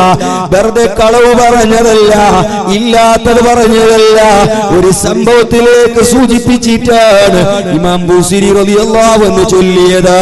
ഓ എന്റെ പ്രിയപ്പെട്ടവരെ ആ സഹായം ഒറ്റൊരു സംഭവത്തിന് മാത്രം ഒതുങ്ങിയതല്ല. അതാണ് ഞാൻ നേരത്തെ പറഞ്ഞത്. ഏത് പ്രശ്നങ്ങൾ വരുമ്പോഴും എന്ത് ബുദ്ധിമുട്ടുകൾ വരുമ്പോഴും അള്ളാഹുവിന്റെ റസൂലിനെ സഹായിയായി കണ്ടാൽ ആദം ഫിൽ ഹയാത്തി വബഅദൽ മമാത് എന്റെ ജീവിതകാലത്തും എന്റെ മരണകാലത്തും നിങ്ങൾക്ക് എന്തെല്ലാം ആവശ്യമുണ്ടോ? അതൊക്കെയും നിറവേറ്റിത്തരാൻ ഉള്ളവനാണ് കേട്ടോ. അന വലിയുമല്ല വലിയലോ ഒരു സഹായമില്ലാതെ ഒരു സഹായമില്ലാതെ വിഷമിക്കുന്ന ജനങ്ങളാരുണ്ടോ? അവരൊക്കെയും സഹായിക്കുന്ന നേതാവ് ഞാനാണ് കേട്ടോ. ആരാണ് പ്രഖ്യാപിക്കുന്നത്? എടോ ഓ ചെറുപ്പക്കാരെ വാട്സപ്പുകളിലും ഫേസ്ബുക്കുകളിലും ഏതെങ്കിലും വഹാബിന്റെ പ്രസംഗം കേട്ടുകൊണ്ട് സംശയത്തിൽ അകപ്പെട്ടു പോയ ചെറുപ്പക്കാരെ മുഹമ്മദ് നബി സല്ലല്ലാഹു അലൈഹി വസല്ലമ തങ്ങൾ തന്നെ അവിടുന്ന് പ്രഖ്യാപിക്കുകയാ അന വലിയുമല്ല വലിയലോ സഹായമില്ലാതെ ഒരു ഗതിയില്ലാതെ ആരൊക്കെ വിഷമിക്കുന്നുണ്ടോ അവരൊക്കെയും സഹായിക്കാനുള്ള നേതാവ് ഞാനാണ് കേട്ടോ. മുഹമ്മദ് റസൂലുള്ള.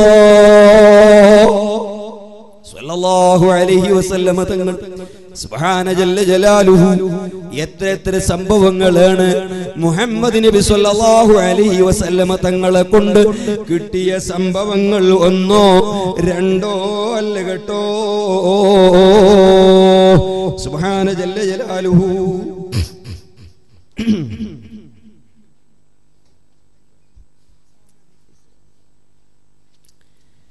നിങ്ങൾക്കറിയില്ലേ?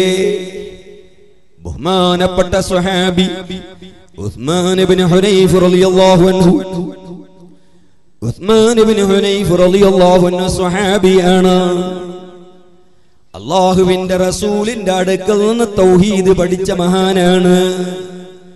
അള്ളാഹുവിന്റെ റസൂലിന്റെ ഒരു മുത്തലിമായി ഖുർആൻ പഠിച്ച ആളാണ്.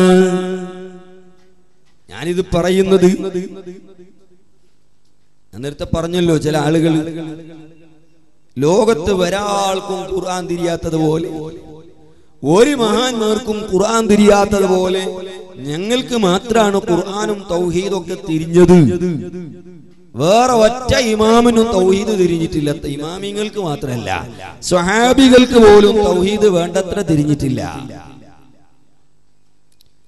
എന്ന നിലയ്ക്ക് നടക്കുന്ന ചില കൂട്ടരുണ്ടല്ലോ ഞാൻ വെറുതെ പറഞ്ഞതല്ലേ ഇത്? സ്വഹാബികൾക്ക് പോലും തൗഹീദ് തിരിഞ്ഞിട്ടില്ല എന്ന് അവർക്കൊരു ധാരണയുണ്ട്. ഞാൻ ഇത് വെറുതെ പറയല്ല. അവരെ നേതാവുണ്ട് ഇബിന് തീമിയ.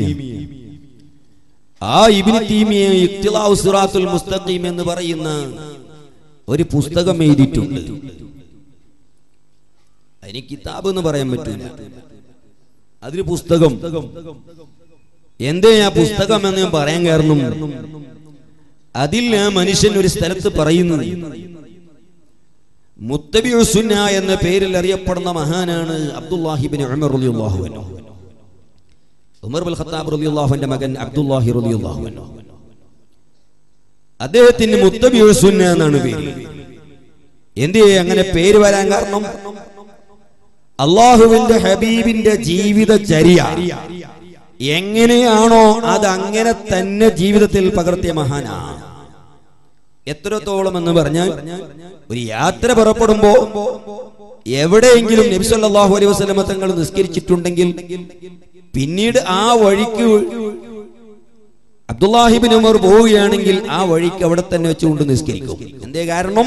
ഇവിടെ എന്റെ ഹബീബ് നിസ്കരിച്ചിട്ടുണ്ട്. എവിടെ മുത്തുനബി ഇരുന്നിട്ടുണ്ടോ? അവിടെ ഇരിക്കും. കാരണം ഇവിടെ എന്റെ ഹബീബ് ഇരുന്നിട്ടുണ്ട്. ആ നിലയ്ക്ക് വളരെ കൃത്യമായി അവിടുത്തെ സുന്നത്ത് പിൻപറ്റിയ ഒരു മഹാനാണ് ബഹുമാനപ്പെട്ട മുത്തബി സുന്ന അബ്ദുല്ലാഹിബിൻ പക്ഷേ ഇബിന് തീമിയക്ക് ഇത് പിടിച്ചില്ല. ഇത് ഇഷ്ടപ്പെട്ടില്ല. അദ്ദേഹം പറഞ്ഞു ഇബിന് ഉമർ ചെയ്തത് അത് ഷിർക്കിന്റെ പണിയാണ്. അത് ഷിർക്കിന്റെ ഏർപ്പാടാണത് എന്ന് ഇബിനി തീമിയ ഇഖ്തിലാവ് സുറാത്തിൽ മുസ്തഖിമിൽ ഒരു സ്ഥലത്ത് എഴുതി വെച്ചിട്ടുണ്ട്. അങ്ങനെ ഒരു വ്യക്തി പൂജ നടത്താൻ പറ്റൂല. മുഹമ്മദ് നബിന്റെ ഒരു വ്യക്തി പൂജയാണ് ഇബിനു ഉമർ നടത്തിയത്. അത് ഷിർക്കിന്റെ പണിയാണ്. ഞാൻ പറഞ്ഞത് സ്വഹാബികൾക്ക് പോലും ഷിർക്കും തൗഹീദും തിരിയാത്ത ആളുകളാണ് എന്ന് മനസ്സിലാക്കിയ കിബുറന്മാരാണ് ഇവർ ആ ഇബിന് തീമിയുടെ വക്താക്കളല്ലേ ഈ കാലഘട്ടത്തിലുള്ളവർ? ഇവരുടെ ധാരണ ലോകത്ത് ഖുർആൻ തിരിഞ്ഞത് ഞങ്ങൾക്ക് മാത്രമാണ് ഹദീസ് തിരിഞ്ഞത് ഞങ്ങൾക്ക് മാത്രമാണ് തൗഹീദ് തിരിഞ്ഞത് ഞങ്ങൾക്ക് മാത്രമാണ് അതുകൊണ്ട് ആ കിബിറിന്റെ അടിസ്ഥാനത്തിൽ പലതും പറയും. നേരത്തെ ഞാൻ ഉണർത്തിയതുപോലെ സ്വലാത്തിന്റെ മജിലിസ്. പല വഹാബികളും പലപ്പോഴും കളിയാക്കിയിരുന്നു. പക്ഷെ ഇന്ന് അൽഹംദുലില്ല ഒരുപാട് ആ പ്രസ്ഥാനത്തിൽ പെട്ടുപോയ സഹോദരന്മാർ ബായാറ് സ്വലാത്തിൽ വന്ന് പരിഹാരം കിട്ടി സുന്നത്ത് ജമാഅത്തിലേക്ക് മടങ്ങിയ ആയിരക്കണക്കിലെ സംഭവങ്ങളുണ്ട്. വഹാബികളുടെ കുടുക്കിൽ അവിടെയുടെ മൗലയിമാരുടെ കുടുക്കിൽ പെട്ടി. സത്യമായ യഥാർത്ഥ ദീന് അതാണെന്ന് മനസ്സിലാക്കി ആ പ്രസ്ഥാനത്തിലെ ചതിയിൽ പെട്ടുപോയ ഒരുപാട് ജനങ്ങൾ സഹോദരന്മാർ. സ്വലാത്തിന്റെ മജിലിസ് പണമുണ്ടാക്കാനുള്ള ഏർപ്പാടാണ്. അവിടെ പറയുന്ന അത്ഭുതങ്ങൾ കള്ള കഥകളാണ് അത് ബിദുഅത്താണ് അനാചാരമാണ്. എന്നിങ്ങനെ സാധാരണക്കാരുടെ മനസ്സിൽ വസ്വാസുകൾ ഉണ്ടാക്കി. അവസാനം ആരാ രോഗങ്ങളെ കൊണ്ട് വിഷമത്തിൽ അകപ്പെട്ടുകൊണ്ട് ഒരു ഡോക്ടറിന്റെ അടുത്ത് പോയും സുഖമാകാതെ അവസാന മഹാനായ ശൈഖുന തങ്ങളുടെ സാന്നിധ്യത്തിൽ വന്ന് തങ്ങളെടുത്ത് പരിഹാരത്തിന് വേണ്ടി വന്ന് സ്വലാത്തിന്റെ മജിലിസിൽ അങ്ങ് കൂടിയപ്പോ ക്യാൻസർ മാറി കിഡ്നി ഫെയിലായവരുടെ രോഗം മാറി ട്യൂമർ മാറി. അങ്ങനെ സുന്നത്ത് ജമാഅത്തിലേക്ക് അതാ കടന്നു വന്ന സംഭവങ്ങൾ എത്രയാണ്? ഇവിടെ മാത്രമല്ല ബഹുമാനപ്പെട്ട തങ്ങൾ പറകൾ മലപ്പുറം ജില്ലയിലെ ഒരു സ്ഥലത്തും ഇതുപോലെ വലിയ വിപുലമായ സ്വലാത്തിന്റെ മജിലിസ് നടത്തുന്നുണ്ട്. അവിടെയും തങ്ങളുടെ അടുത്തേക്ക് വീട്ടിലേക്ക് ആ പ്രസ്ഥാനത്തിന്റെ ചതിയിൽപ്പെട്ടുപോയ ഒരുപാട് ചെറുപ്പക്കാര് സഹോദരന്മാർ അതാ തങ്ങളടുത്ത് വന്നുകൊണ്ട് പരിഹാരം കിട്ടി ശമനമായി. സുന്നത്ത് ജമാഅത്തിലേക്ക് കടന്നു വന്ന സംഭവങ്ങൾ ഓ ചെറുപ്പക്കാരെ ആയിരക്കണക്കിലുണ്ട് കേട്ടോ. ഇത് കള്ളമാണെന്ന് പറയാൻ വകുപ്പില്ല. കാരണം ഇത് അമേരിക്കയിലെ കഥകളല്ല പറയുന്നത്. ലണ്ടനിൽ നടക്കുന്ന കഥകളല്ല പറയുന്നത്. മാഷറന്റെ കഥയല്ല പറയുന്നത്. ഇത് നമ്മുടെ ഈ കേരളത്തിലെ കർണാടകയുടെയും ഗഡിപ്രദേശത്ത് നിൽക്കുന്ന ബായാറിന്റെ കഥയാണ്. ഇവിടെ വരുന്ന ജനങ്ങളോട് നേരിട്ട് തന്നെ ചോദിച്ചാൽ അനുഭവങ്ങളുള്ള സ്വന്തം അനുഭവങ്ങളുള്ള ആളുകൾ ആയിരക്കണക്കിലെ മുമിനീങ്ങൾ ഈ സദസ്സിലുണ്ട്. ക്യാൻസർ രോഗം സുഖമായ എത്രയോ ആളുകൾ ഇവിടെയുണ്ട്. കിഡ്നി ഫെയിലറായി ശമനം കിട്ടിയ നൂറുകണക്കിന് ആളുകൾ ഇവിടെയുണ്ട്. അവരോട് നേരിട്ട് ചോദിച്ചാൽ അവർ ഇക്കാര്യം പറയും. ഞാനിത് എന്തിനാ പറയുന്നത്? എന്റെ പ്രിയപ്പെട്ടവരെ ഇത് വെറുതെ തമാശക്ക് വേണ്ടിയിട്ടല്ല. ഇത് പറഞ്ഞ ആളുകളെ കൂട്ടാൻ വേണ്ടിയിട്ടുമല്ല അതിന്റെ ആവശ്യം തങ്ങൾക്കുമില്ല. സംഘാടകർക്കുമില്ല. സ്ഥാപനത്തിന്റെ ആളുകൾക്കുമില്ല. പിന്നെ ആരെങ്കിലും ചതിയിൽ പെട്ടുപോയിട്ടുണ്ടെങ്കിൽ അവരുടെ ഈമാൻ ഒന്ന് പുതുക്കാനും വരുന്നവരുടെ ഈമാൻ ശക്തിപ്പെടുത്താനും അതിന് വേണ്ടിയാണ് ഞാൻ ഇത് പറയുന്നത്. അള്ളാഹു നമുക്കൊക്കെ ഈമാൻ വർദ്ധിപ്പിച്ചു തരുമാറാകട്ടെ. എന്റെ പ്രിയപ്പെട്ടവരെ ഉസ്മാൻ ഹനീഫ് റളിയല്ലാഹു അൻഹു അദ്ദേഹം സ്വഹാബിയാണ്. ഖുർആൻ പഠിച്ചത് മർക്കസിൽ പോയിട്ടല്ല. അദ്ദേഹം ഖുർആൻ പഠിച്ചത് സാജയിൽ പോയിട്ടല്ല. അദ്ദേഹം ഖുർആൻ പഠിച്ചത് മറ്റേതെങ്കിലും കോളേജിലല്ല. പിന്നെയോ മുത്തുനബി സല്ലല്ലാഹു അലൈഹി വസല്ലമ തങ്ങളിൽ നിന്നാ ആ മുഹമ്മദ് റസൂലുള്ളാഹി സല്ലല്ലാഹു അലൈഹി വസല്ലമ തങ്ങൾ എന്ന് പറയുന്ന മുദരിസ്. ആ മുദരിസിന്റെ അടുത്തുനിന്ന് ഖുർആൻ ഓതി പഠിച്ച മഹാനാണ് ഉസ്മാൻ ഇബ്നു ഹനീഫ് റളിയല്ലാഹു അൻഹു. ഒരു ദിവസം ഉസ്മാൻ ഇബ്നു ഹനീഫ് റളിയല്ലാഹു അൻഹു നിൽക്കുമ്പോൾ ആ സ്വഹാബിന്റെ അടുത്തേക്ക് വേറൊരു സാധുവായ മനുഷ്യൻ വന്നു. ഒരു പാവപ്പെട്ട മനുഷ്യൻ വന്നു.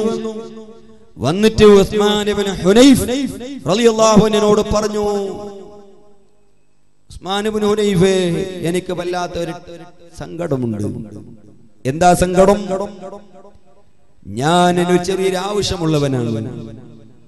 എന്റെ ആവശ്യം നിറവേറ്റി കിട്ടാൻ ഭരണം നടത്തുന്ന ഭരണാധികാരിയാകുന്ന ഇബ്നു അഫ്ഫാൻ ഖലീഫയാകുന്ന ഉസ്മാനുബിൻ അഫ്ഫാനിന്റെ അടുത്തേക്ക് എന്റെ ഒരു ആവശ്യം പറയാൻ ഞാൻ പലവട്ടം പോയി. പക്ഷേ എത്ര വട്ടം പോയാലും ഉസ്മാനുബിൻ അഫ്ഫാനെ കാണാനോ സങ്കടം പറയാനോ എനിക്ക് സാധിക്കുന്നില്ല. അതുകൊണ്ട് ഇതിനൊരു പരിഹാരം ഉണ്ടാക്കി തരണമെന്ന് ആ സാധുവായ മനുഷ്യൻ ഉസ്മാനിബിന് ഹുനൈഫിനോട് പറയുകയാ ആ സമയത്ത് ഉസ്മാനിബിന് ഹുനൈഫ് റളിയല്ലാഹു അൻഹു ആ സാധുവായ മനുഷ്യനോട് പറയുന്നു ഈ തിൽമീള ഓ സഹോദരാ നിങ്ങൾ ഹൗദിന്റെ അടുത്തേക്ക് പോയി ഒതെടുത്തോളൂ നിങ്ങൾ നന്നായി ഫസ്വല്ലി റകഅത്തൈനി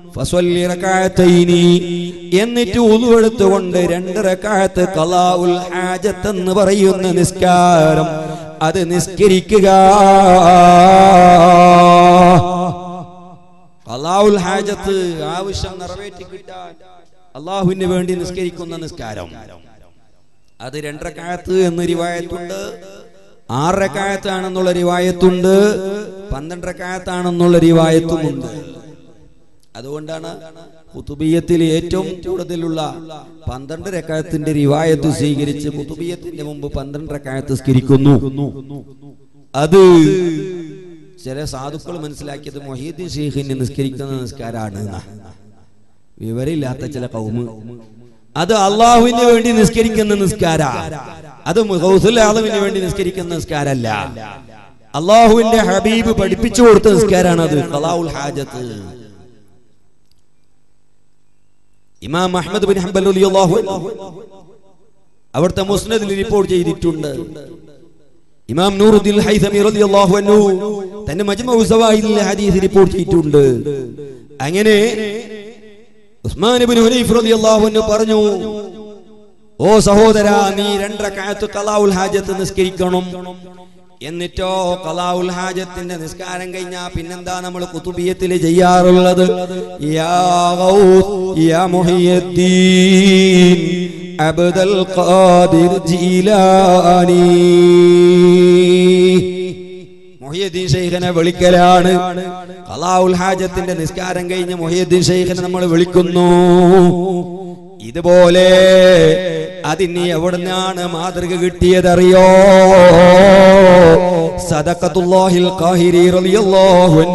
കുതുബിയത്തിന്റെ രൂപം നമുക്ക് പഠിപ്പിച്ചു തന്നത് എങ്ങനെയാണ്? മുത്തു നബി സല്ലല്ലാഹു അലൈഹി വസല്ലമ തങ്ങളുടെ ആ അവിടുത്തെ ചരിയയിൽ നിന്ന് അതാ ഉസ്മാൻ പറഞ്ഞു മോനെ നീ രണ്ടക്കായത്ത് കലാവുൽ ഹാജത്ത് നിസ്കരിച്ചുകൊണ്ട് ചെറിയ ഒരു സംഗതി നടത്തണം ഒരു ദുആ നടത്തണം. എന്താണ് നടത്തേണ്ടത്? അല്ലാഹുമ്മ ഇന്നി അസ്അലുക വ അതവജ്ജഹു ഇലൈക ബിനബീക നബിയർ റഹ്മാൻ. യാ മുഹമ്മദ് ഇന്നി قد توجهت بك إلى ربي في حاجتي هذه لتقضي لي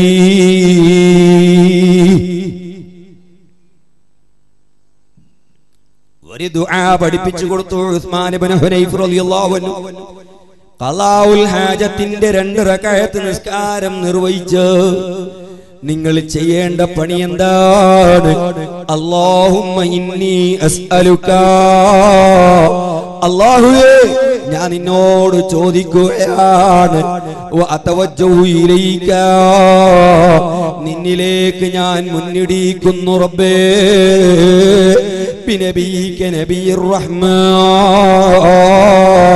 കാരുണ്യത്തിന്റെ നേതാവ് മുഹമ്മദ് റസൂലുള്ളാഹ് മുഹമ്മദ് നബിയെ ഞാൻ മുന്നിടിയിക്കുന്നു എന്ന് റബ്ബിനോട് പറഞ്ഞു.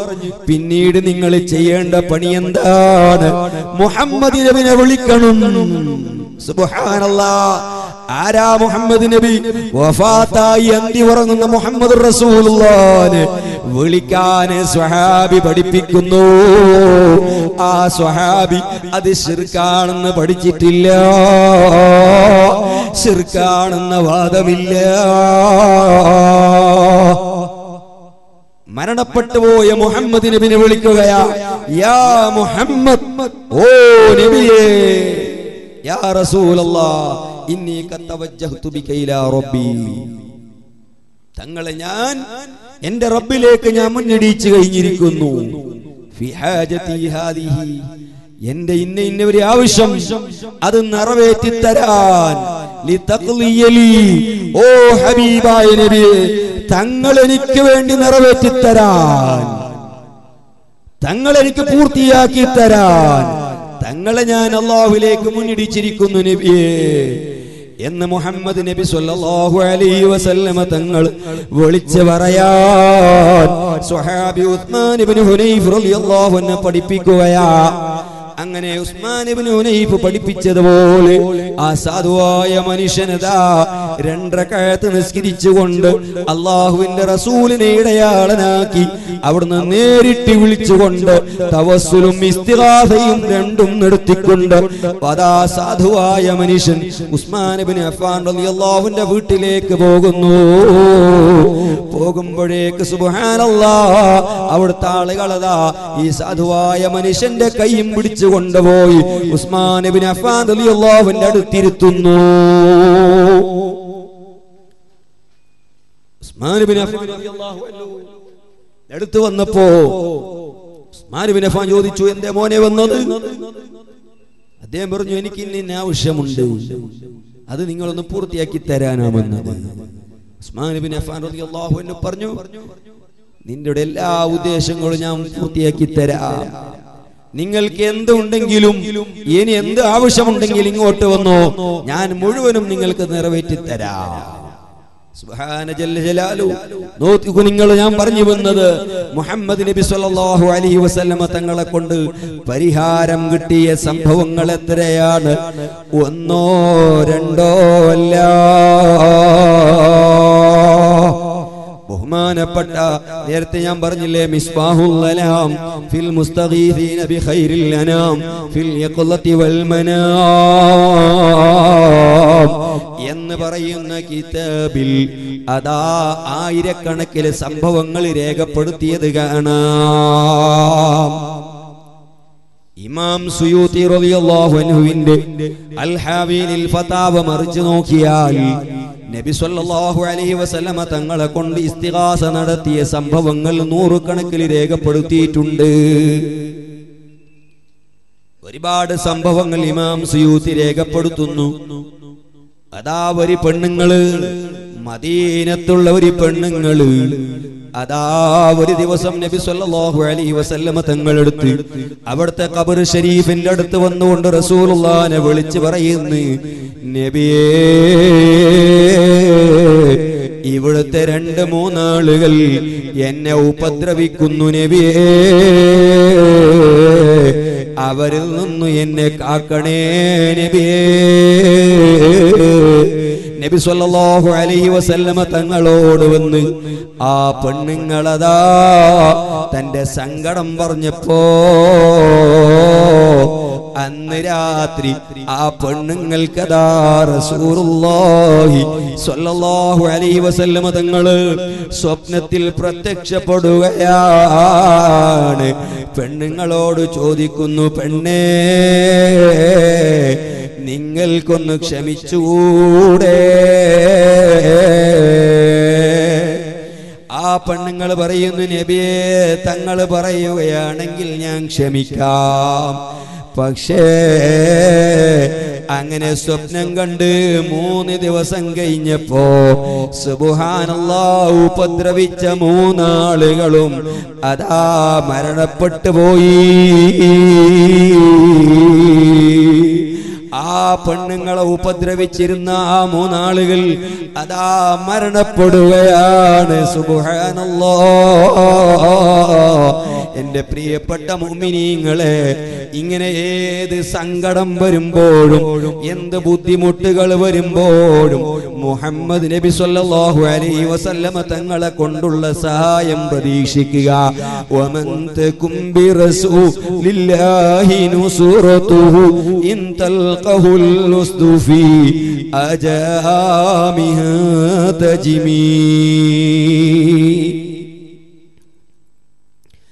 ബഹുമാനപ്പെട്ട അദ്ദേഹവും സ്വഹാബിയാണ്. അള്ളാഹുവിന്റെ റസൂലിൽ നിന്ന് ഖുർആൻ പഠിച്ച മഹാനാണ്. തൗഹീദ് പഠിച്ച മഹാനാണ്.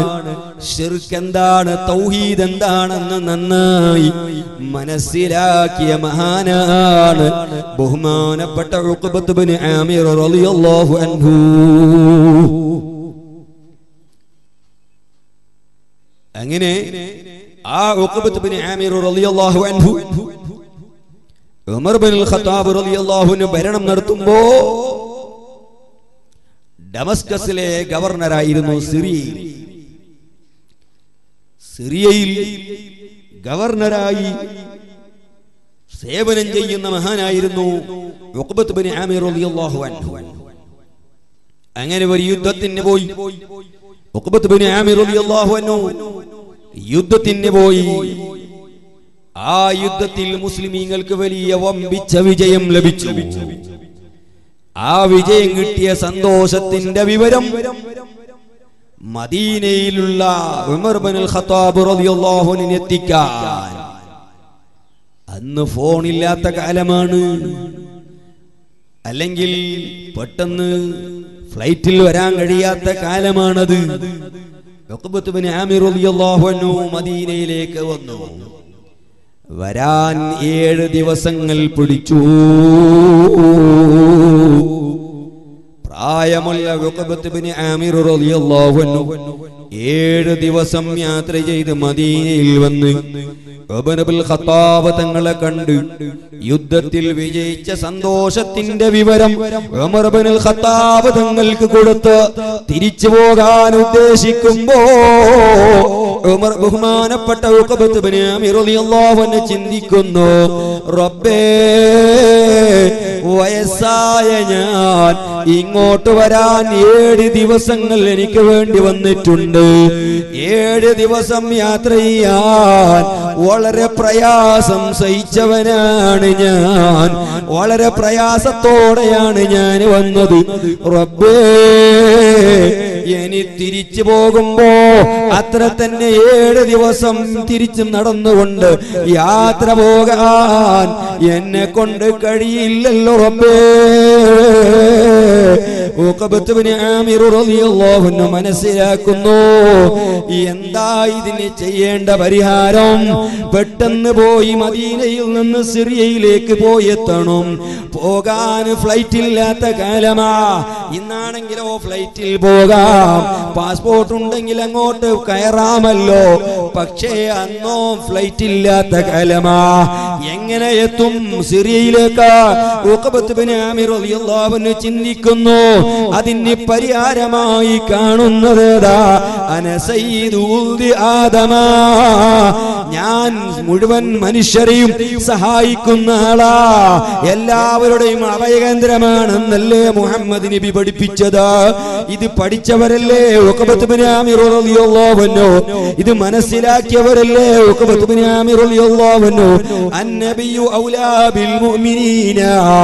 അതേ മുഅ്മിനീങ്ങളോട് ഏറ്റവും കൂടുതൽ കടമപ്പെട്ടവന് ഞാനാണെന്ന് മുഹമ്മദ് നബി സല്ലല്ലാഹു അലൈഹി വസല്ലമ തങ്ങളല്ലേ പറഞ്ഞത്. എന്നാൽ ആ മുഹമ്മദ് നബിയെ ഒന്ന് സമീപിക്കാമല്ലോ. പരിഹാരത്തിന് വേണ്ടി പോകുന്നത് എവിടത്തേക്കാണറിയോ?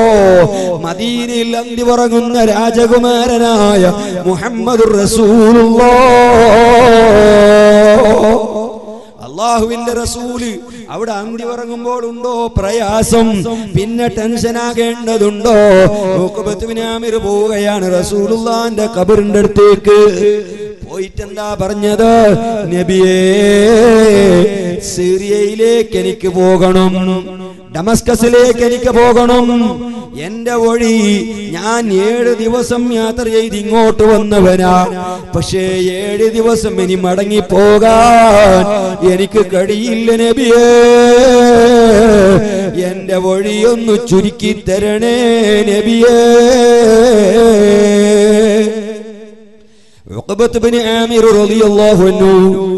നബി അലൈഹി വസല്ലമ തങ്ങളോട് സങ്കടം പറഞ്ഞപ്പോ അവിടുന്ന് സിയാറത്ത് ചെയ്ത്. സിയാറത്ത് ചെയ്ത് നബിയോട് സങ്കടം പറഞ്ഞ് അങ്ങ് യാത്ര പുറപ്പെടുന്നു. ഡമസ്കസിലേക്ക് സിറിയയിലേക്ക്. അങ്ങനെ ഏഴ് ദിവസം യാത്ര ചെയ്തു വന്ന ഉഖബത്ത് ബിൻ ആമിർ തിരിച്ചു പോകുമ്പോ എത്ര ദിവസം കൊണ്ടാ എത്തിയതറിയോ? രണ്ടര ദിവസം കൊണ്ട്.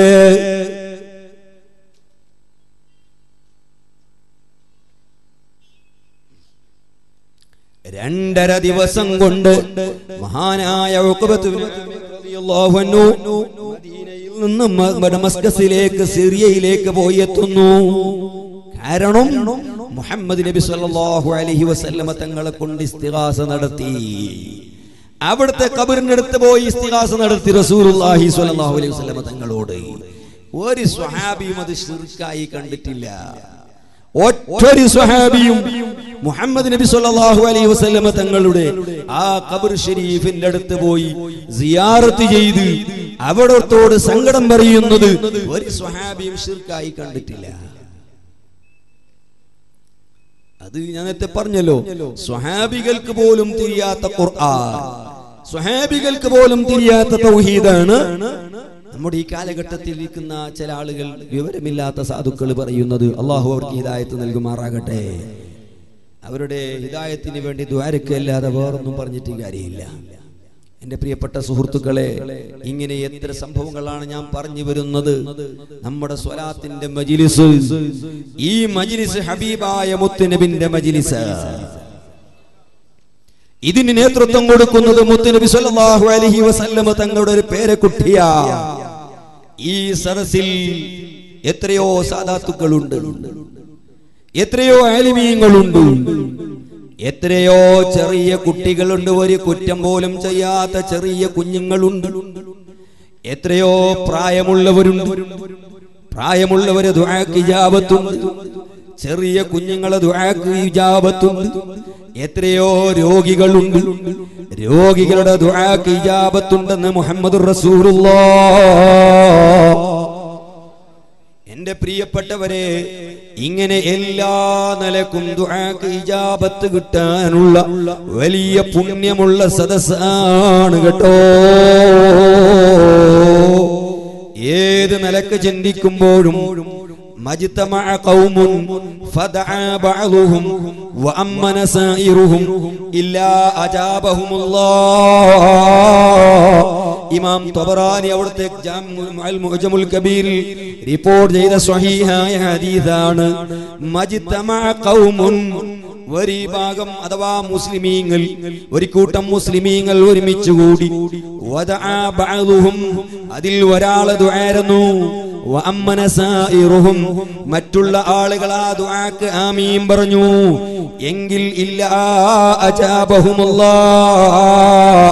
തീർച്ചയായും അള്ളാഹു ആ ദുആക്ക് ഉത്തരം ചെയ്യുന്നതാണ് മുഹമ്മദ് റസൂറുല്ലാഹ്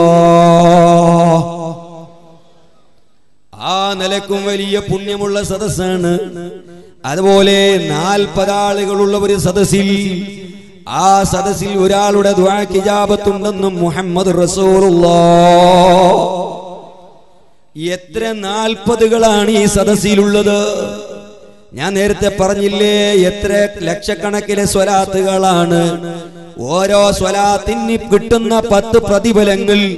ഈ ചൊല്ലപ്പെടുന്ന സ്വലാത്തിലങ്ങ് ഗുണിച്ചാൽ എത്ര പ്രതിഫലകളാണ് കിട്ടുന്നത് സുബാനല്ലാ സ്വലാത്ത് ചൊല്ലുമ്പോൾ ഇറങ്ങുന്ന മലായിക്കത്തുകൾ എത്രയാണ്? എത്ര റഹ്മത്തിന്റെ മലായിക്കത്തുകളാണ് ഇവിടെ ഇറങ്ങുന്നത്? ആ മലായിക്കത്തുകൾ ആമീൻ കിട്ടുന്നു. എത്ര സ്വാലിഹീങ്ങളാകുന്ന ജിന്നുകളാണ് ഹാജരാകുന്നത്. അവരുടെയും ആമീൻ കിട്ടുന്നു. ഇങ്ങനെ എല്ലാ നിലക്കും പുണ്യമുള്ള സ്വലാത്തിന്റെ മജിലിസിൽ അവിടുന്ന് രോഗം സുഖമാകൂല എന്ന് പറയാൻ എടോ മുനാഫിത്തേ നിനിക്കല്ലാതെ ഈമാനില്ലാതെ കപടവിശ്വാസവുമായി നടക്കുന്നവന് നിനക്കല്ലാതെ പറയാൻ കഴിയില്ലടാ. ഒരു ക്യാൻസർ രോഗിയുടെ ക്യാൻസർ സുഖമായി എന്ന് പറയുമ്പോ അതിനെ കളിയാക്കി ചിരിക്കാൻ ചില മുനാഫിക്കുകൾ. ഞാൻ പറഞ്ഞില്ലേ ഹൃദയത്തിൽ ഒരു കടുമണി തൂക്കത്തിന്റെങ്കിലും ഈമാനുള്ളവൻ ഒരിക്കലും അതിനെ നിഷേധിക്കൂല ഒരിക്കലും കളിയാക്കൂല. മുഹമ്മദ് നബി സല്ലല്ലാഹു അലൈഹി വസല്ലമ തങ്ങൾ ആ മുഹമ്മദ് നബിയുമായി ബന്ധപ്പെടുന്ന സ്വലാത്തിന്റെ മജ്ലിസുകൾ മുഹമ്മദ് നബിയുമായി ബന്ധപ്പെടുന്ന മൗലിദിന്റെ സദസ്സുകൾ അതിനെല്ലാം സുഹാനുള്ള അതിന്റെ പുണ്യങ്ങൾ പറഞ്ഞിട്ട് തീരൂല. ആ പുണ്യങ്ങൾ മനസ്സിലാക്കാത്തത് കൊണ്ടാണ്. വിവരമില്ലാത്തത് കൊണ്ടാണ്. അതല്ലെങ്കിൽ വിവരമുണ്ടായിട്ടും ഹൃദയത്തിൽ ഈമാൻ ഇല്ലാതെ കപട വിശ്വാസവുമായി നടക്കുന്ന കപടന്മാരായതുകൊണ്ടാ. അള്ളാഹു അവരെ ഷറിൽ നിന്ന് കാക്കുമാറാകട്ടെ നമ്മുടെ മക്കളെ കാക്കുമാറാകട്ടെ. ചില പണ്ഡിത വേഷധാരികൾ പോലും ഇതിനെ കളിയാക്കുന്നവരും പരിഹസിക്കുന്നവരുമുണ്ട്. അള്ളാഹു അവർക്ക് ഹിദായത്ത് നൽകുമാറാകട്ടെ. ഞാൻ പറഞ്ഞു വന്ന ഓരോ സംഭവങ്ങളും മുഹമ്മദ് നബി സല്ലല്ലാഹു അലൈഹി വസല്ലമ തങ്ങളെ കൊണ്ട് കിട്ടിയ ഗുണങ്ങളാണ്. അവിടുന്നുമായി ബന്ധപ്പെടുമ്പോ സ്വലാത്തിന്റെ മജിലിസാകട്ടെ അവിടുത്തെ കബർ ഷരീഫാകട്ടെ അവിടുത്തെ മൗലിദിന്റെ സദസ്സാകട്ടെ. എല്ലാത്തും കൊണ്ട് കിട്ടുന്ന ഗുണങ്ങളെയാണ് ഞാൻ ഓരോന്നോരോന്നായി നിങ്ങളെ ശ്രദ്ധയിൽപ്പെടുത്തി കൊണ്ടുവരുന്നത് എത്ര സംഭവങ്ങളാണ് ഞാൻ നിങ്ങൾ ഓർമ്മപ്പെടുത്തിയത്. നിങ്ങൾക്കറിയോ ബി വി ആയിഷ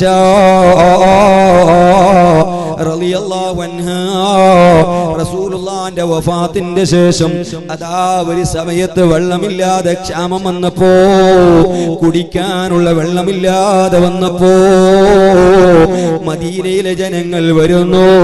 എവിടത്തേക്കാണറിയോ ബീവി ആയിഷ റളിയല്ലാഹു അൻഹയുടെ അടുത്തേക്കാ വരുന്നത്. കാരണം അവർക്കറിയാം എല്ലാ ഭൗതികവും അഭൗതികവുമാകുന്ന പ്രശ്നങ്ങൾക്ക് പരിഹാരം കിട്ടുന്നത് ആത്മീയമായ നേതാക്കളിലൂടെയാണ്. റസൂലുള്ളാന്റെ കുടുംബത്തിലൂടെയാണ്. റസൂലുള്ളാന്റെ കുടുംബവുമായിട്ടാ അങ്ങനെ ബീവി റളിയല്ലാഹുവിന്റെ അടുത്തേക്ക് വന്ന് പറയുന്നു ഓ പ്രിയപ്പെട്ട ഉമ്മ നാട്ടിൽ വെള്ളമില്ലാത്ത അവസ്ഥ നിങ്ങൾക്കറിയാമല്ലോ. കുടിക്കാനുള്ള വെള്ളമില്ല. അതേ കൃഷിക്ക് വെള്ളമില്ല. മഴ പെയ്യാതെ കാലമായില്ലേ.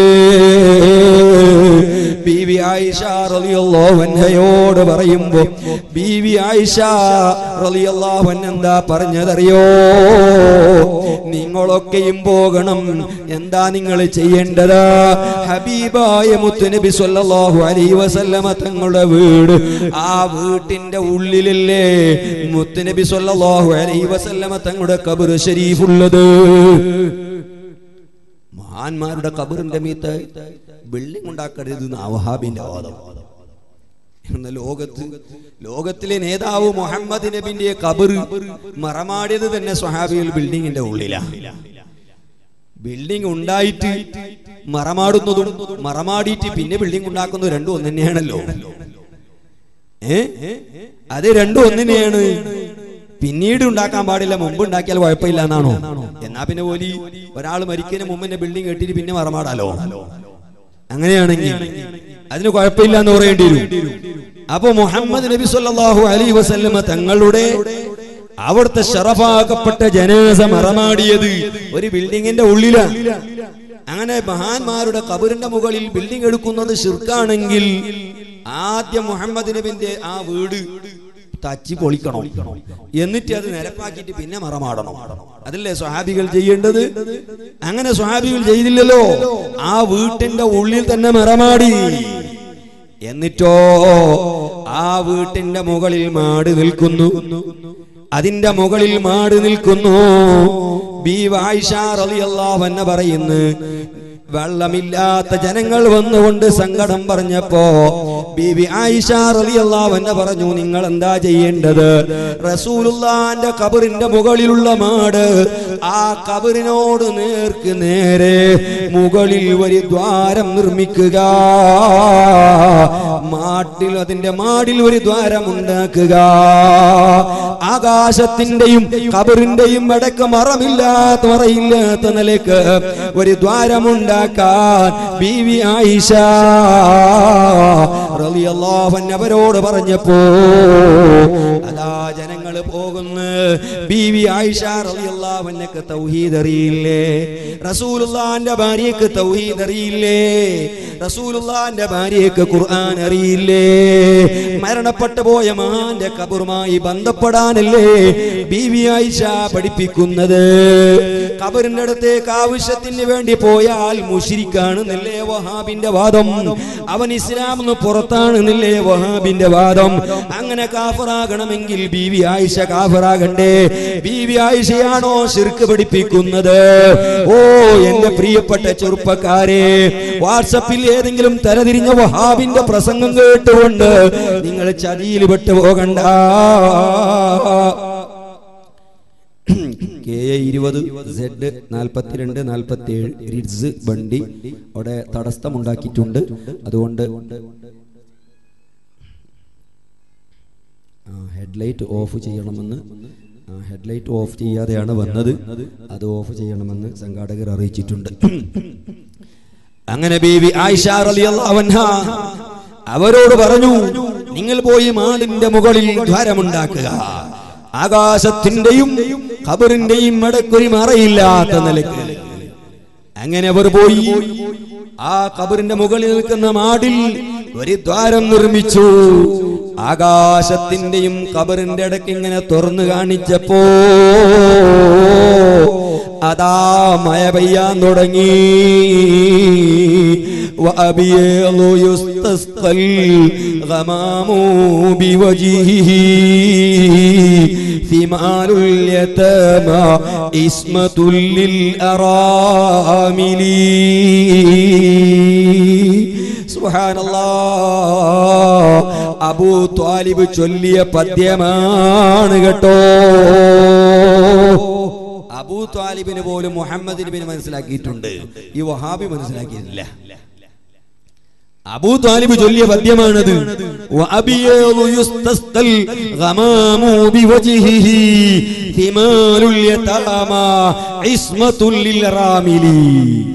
എന്താ പറഞ്ഞത്? സുബ്ഹാനല്ലാ വെളുത്ത മുഖമുള്ള നബി. പ്രകാശിക്കുന്ന മുഖമുള്ള കുഞ്ഞി. യുസ്തസ്കൽ ആ കുഞ്ഞിന്റെ മുഖം മേൽപോട്ടാക്കിയാൽ വെള്ളം കിട്ടണമെന്നുള്ള ഉദ്ദേശത്തോടെ മയില്ലാത്ത സമയത്ത് മയ വേണമെന്ന നിലയ്ക്ക് മുഖം മേൽപോട്ടാക്കിയാൽ മയ വർഷിക്കുന്നു കേട്ടോ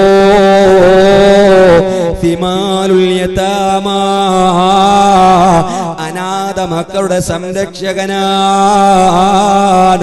ഇസ്മത്തുല്ലിൽ. വിധവകളെന്ന് മാത്രമല്ല സർവ പാവങ്ങൾക്കും മുഴുവൻ മിസ്റ്റീനേർക്കും മുഴുവൻ പാവങ്ങൾക്കും സംരക്ഷണം നൽകുന്ന നേതാവാണ് മുഹമ്മദ് റസൂലുള്ള.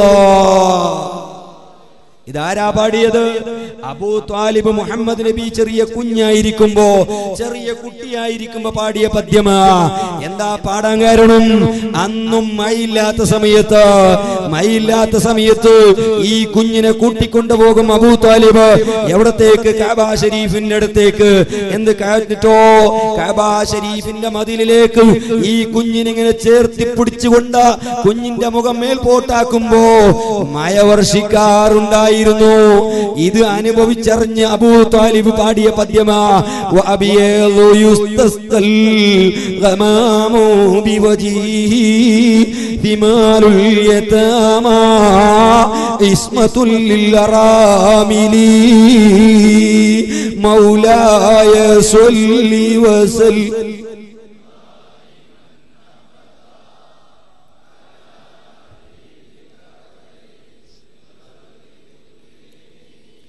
ആ അബൂ താലിബ് പോലും മുഹമ്മദ് നബിനെ മനസ്സിലാക്കിയിട്ടുണ്ട്.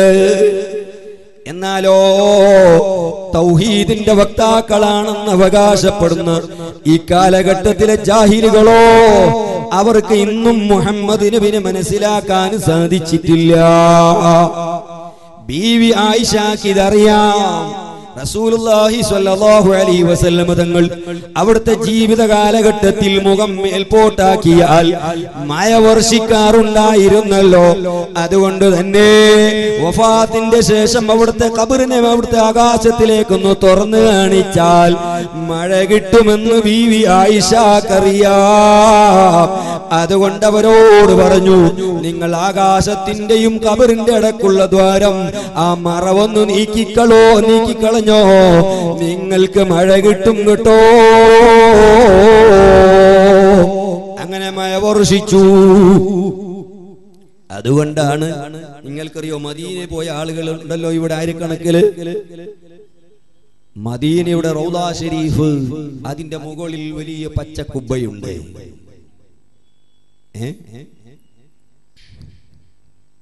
സൗദിയിൽ ദർഗ ഉണ്ടോന്നാ വഹാബിന്റെ ചോദ്യം. ആകെ കേരളത്തിൽ മാത്രമാണ് ഈ ദർഗകളും മക്കാമുകളും ഉള്ളത്. ഇസ്ലാമിന്റെ തലസ്ഥാനമാകുന്ന സൗദിയിൽ അവിടെ ദർഗയില്ല. അവന്റെ കണ്ണ് പൊട്ടീന് ഏറ്റവും വലിയ ദർഗയല്ലേ ഉള്ളു മദീനയിൽ. ഏറ്റവും വലിയ ദർഗയല്ലേ പച്ചക്കുബ്ബ. ആ നിലക്കുള്ള ദർഗ എവിടെയാ ഉള്ളത് ലോകത്ത്? അത്രക്കും വലിയ കുബയല്ലേ മദീനയിലുള്ളത് പച്ചക്കുബ്ബ. ഇന്നും വഹാബികൾ തകർത്തിട്ടില്ലല്ലോ. പക്ഷെ ഏതോ ഒരു സാധു പറഞ്ഞിരുന്നു ഞങ്ങൾക്ക് ഭരണം കിട്ടിയാൽ പിറ്റേ ദിവസം അത് തച്ചു കൊടുക്കൂ പടച്ചോ അവനെ തന്നെ തച്ചു കൊടുത്തു. അവന്റെ അഡ്രസ് ഇല്ല ഇപ്പോ? ആ മനുഷ്യന്റെ അഡ്രസ് ഇല്ല ഇപ്പോ? ഇരിക്കട്ടെ എന്ന ആ പച്ചക്കുപ്പ എല്ലാവരും കണ്ടവരാ. ആ കുപ്പന്റെ ഉള്ളിൽ മറ്റൊരു കുപ്പയുണ്ട് കേട്ടോ. പച്ചക്കുപ്പാന്റെ ഉള്ളിൽ മറ്റൊരു കുബ്ബയുണ്ട് അത് പുറത്തേക്ക് കാണാത്ത ഉള്ളിൽ നിൽക്കുന്ന വെളുത്ത കുബ്ബ. വെളുത്ത കുബ്ബ രണ്ട് കുബ്ബയുണ്ട് മദീനത്തിൽ മുന ഒരു കുബ്ബ അല്ല ഒരു കുബ്ബയല്ല രണ്ട് കുബ്ബയാ. കാരണം വഹാബിക്ക് വഹാബി കുബ്ബ ഇല്ല എന്ന് പറയുന്ന ആളല്ലേ? കുബ്ബ നിർമ്മിക്കാൻ പാടില്ല. അതിന് പകരമായി അല്ല അങ്ങനെ തന്നെ ഒരു സംവിധാനം ചെയ്തു.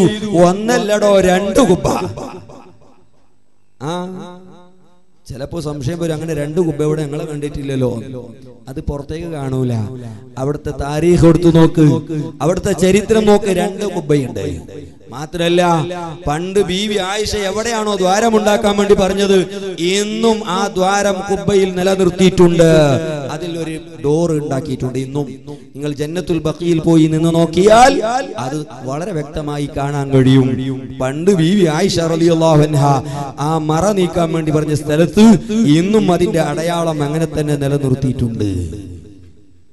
എന്റെ പ്രിയപ്പെട്ട സുഹൃത്തുക്കളെ അപ്പൊ ഞാൻ പറഞ്ഞു വന്നത് ആ സ്വഹാബികൾ ആരും ഇത് ഷിർക്കായി മനസ്സിലാക്കിയിട്ടില്ല.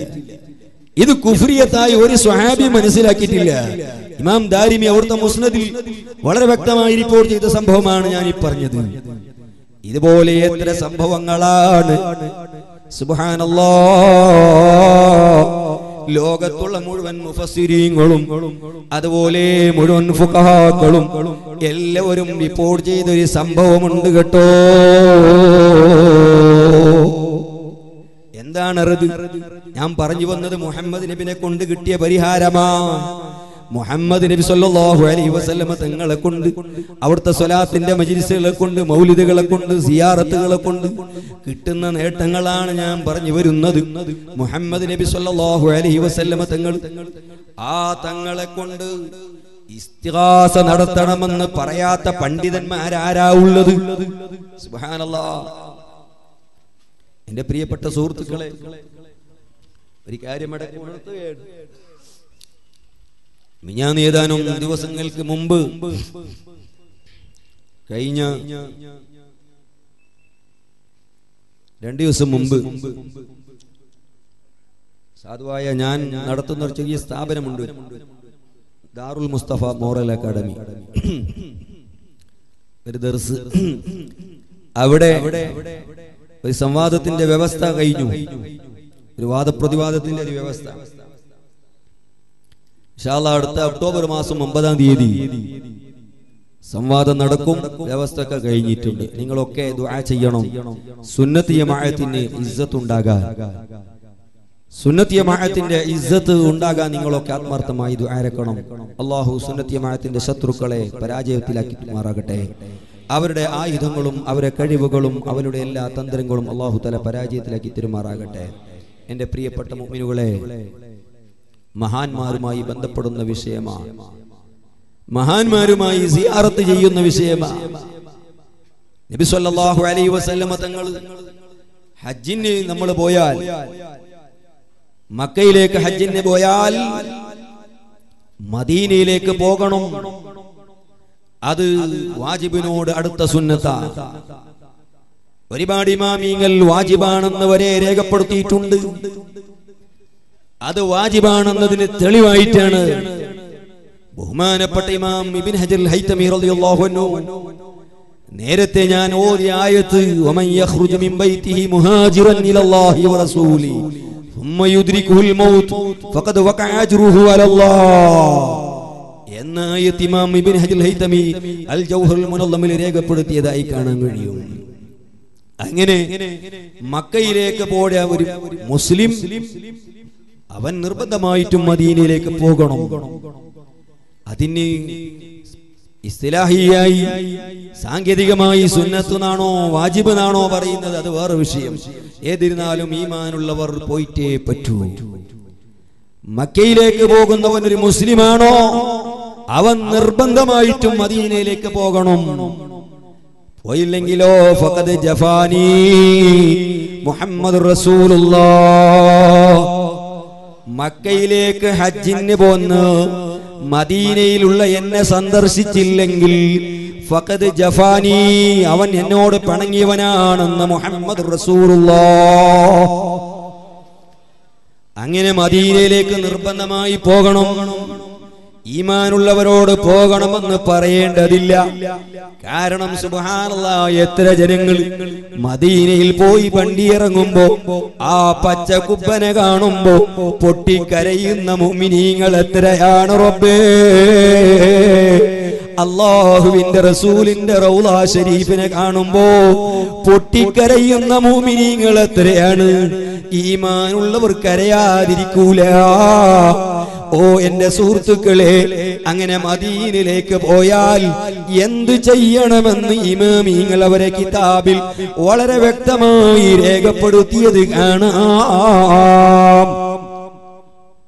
ഏത് ഫിഖിന്റെ കിതാബ് എടുത്തു നോക്കിയാലും അത് ഷാഫി മദ്ഹബിലെ ഫിഖിന്റെ കിതാബായാലും ഹനഫി മദ്ഹബിലെ കിതാബായാലും ഹംബലി മദ്ഹബിന്റെ കിതാബായാലും മാലിക്കി മദ്ഹബിന്റെ കിതാബായാലും ഏത് കിതാബ് എടുത്തു നോക്കിയാലും മദീനയിൽ പോയി സിയാറത്ത് ചെയ്യണമെന്നും അതുപോലെ അതിന്റെ ആദാബുകൾ എന്താണെന്നും വിശദീകരിക്കാത്ത ഒരു കിതാബും ഈ ലോകത്തില്ല കേട്ടോ.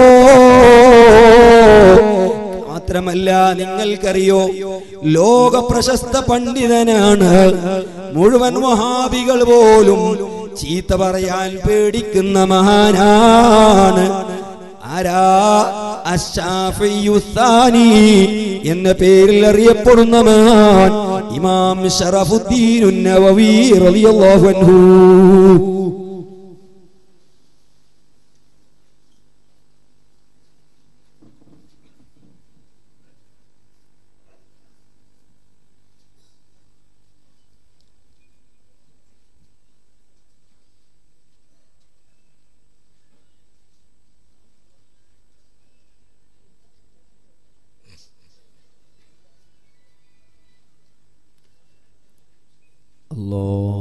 أكبر الله. أكبر الله أكبر. لا إله إلا الله.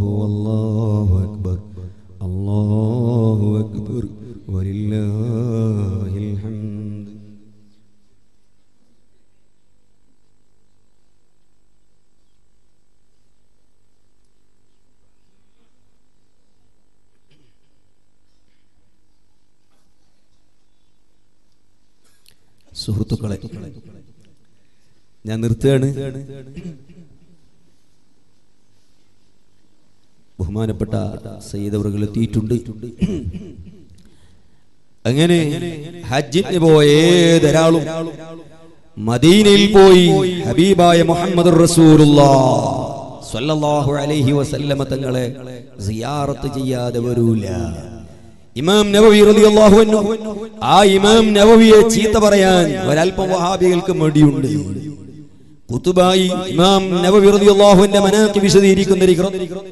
ഇമാം റളിയല്ലാഹു അൻഹു ഒരു പ്രത്യേകമായി കിതാബ് തന്നെ രചിച്ചിട്ടുണ്ട്.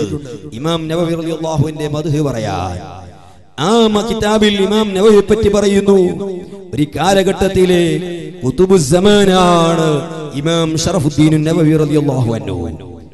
വലിയ സൂക്ഷ്മശാലിയ നിസ്കരിക്കുന്ന സമയത്ത് മുമ്പിൽ ഒരു സുത്രത്ത് വേണം അറ വേണമെന്നാണ് മസാല.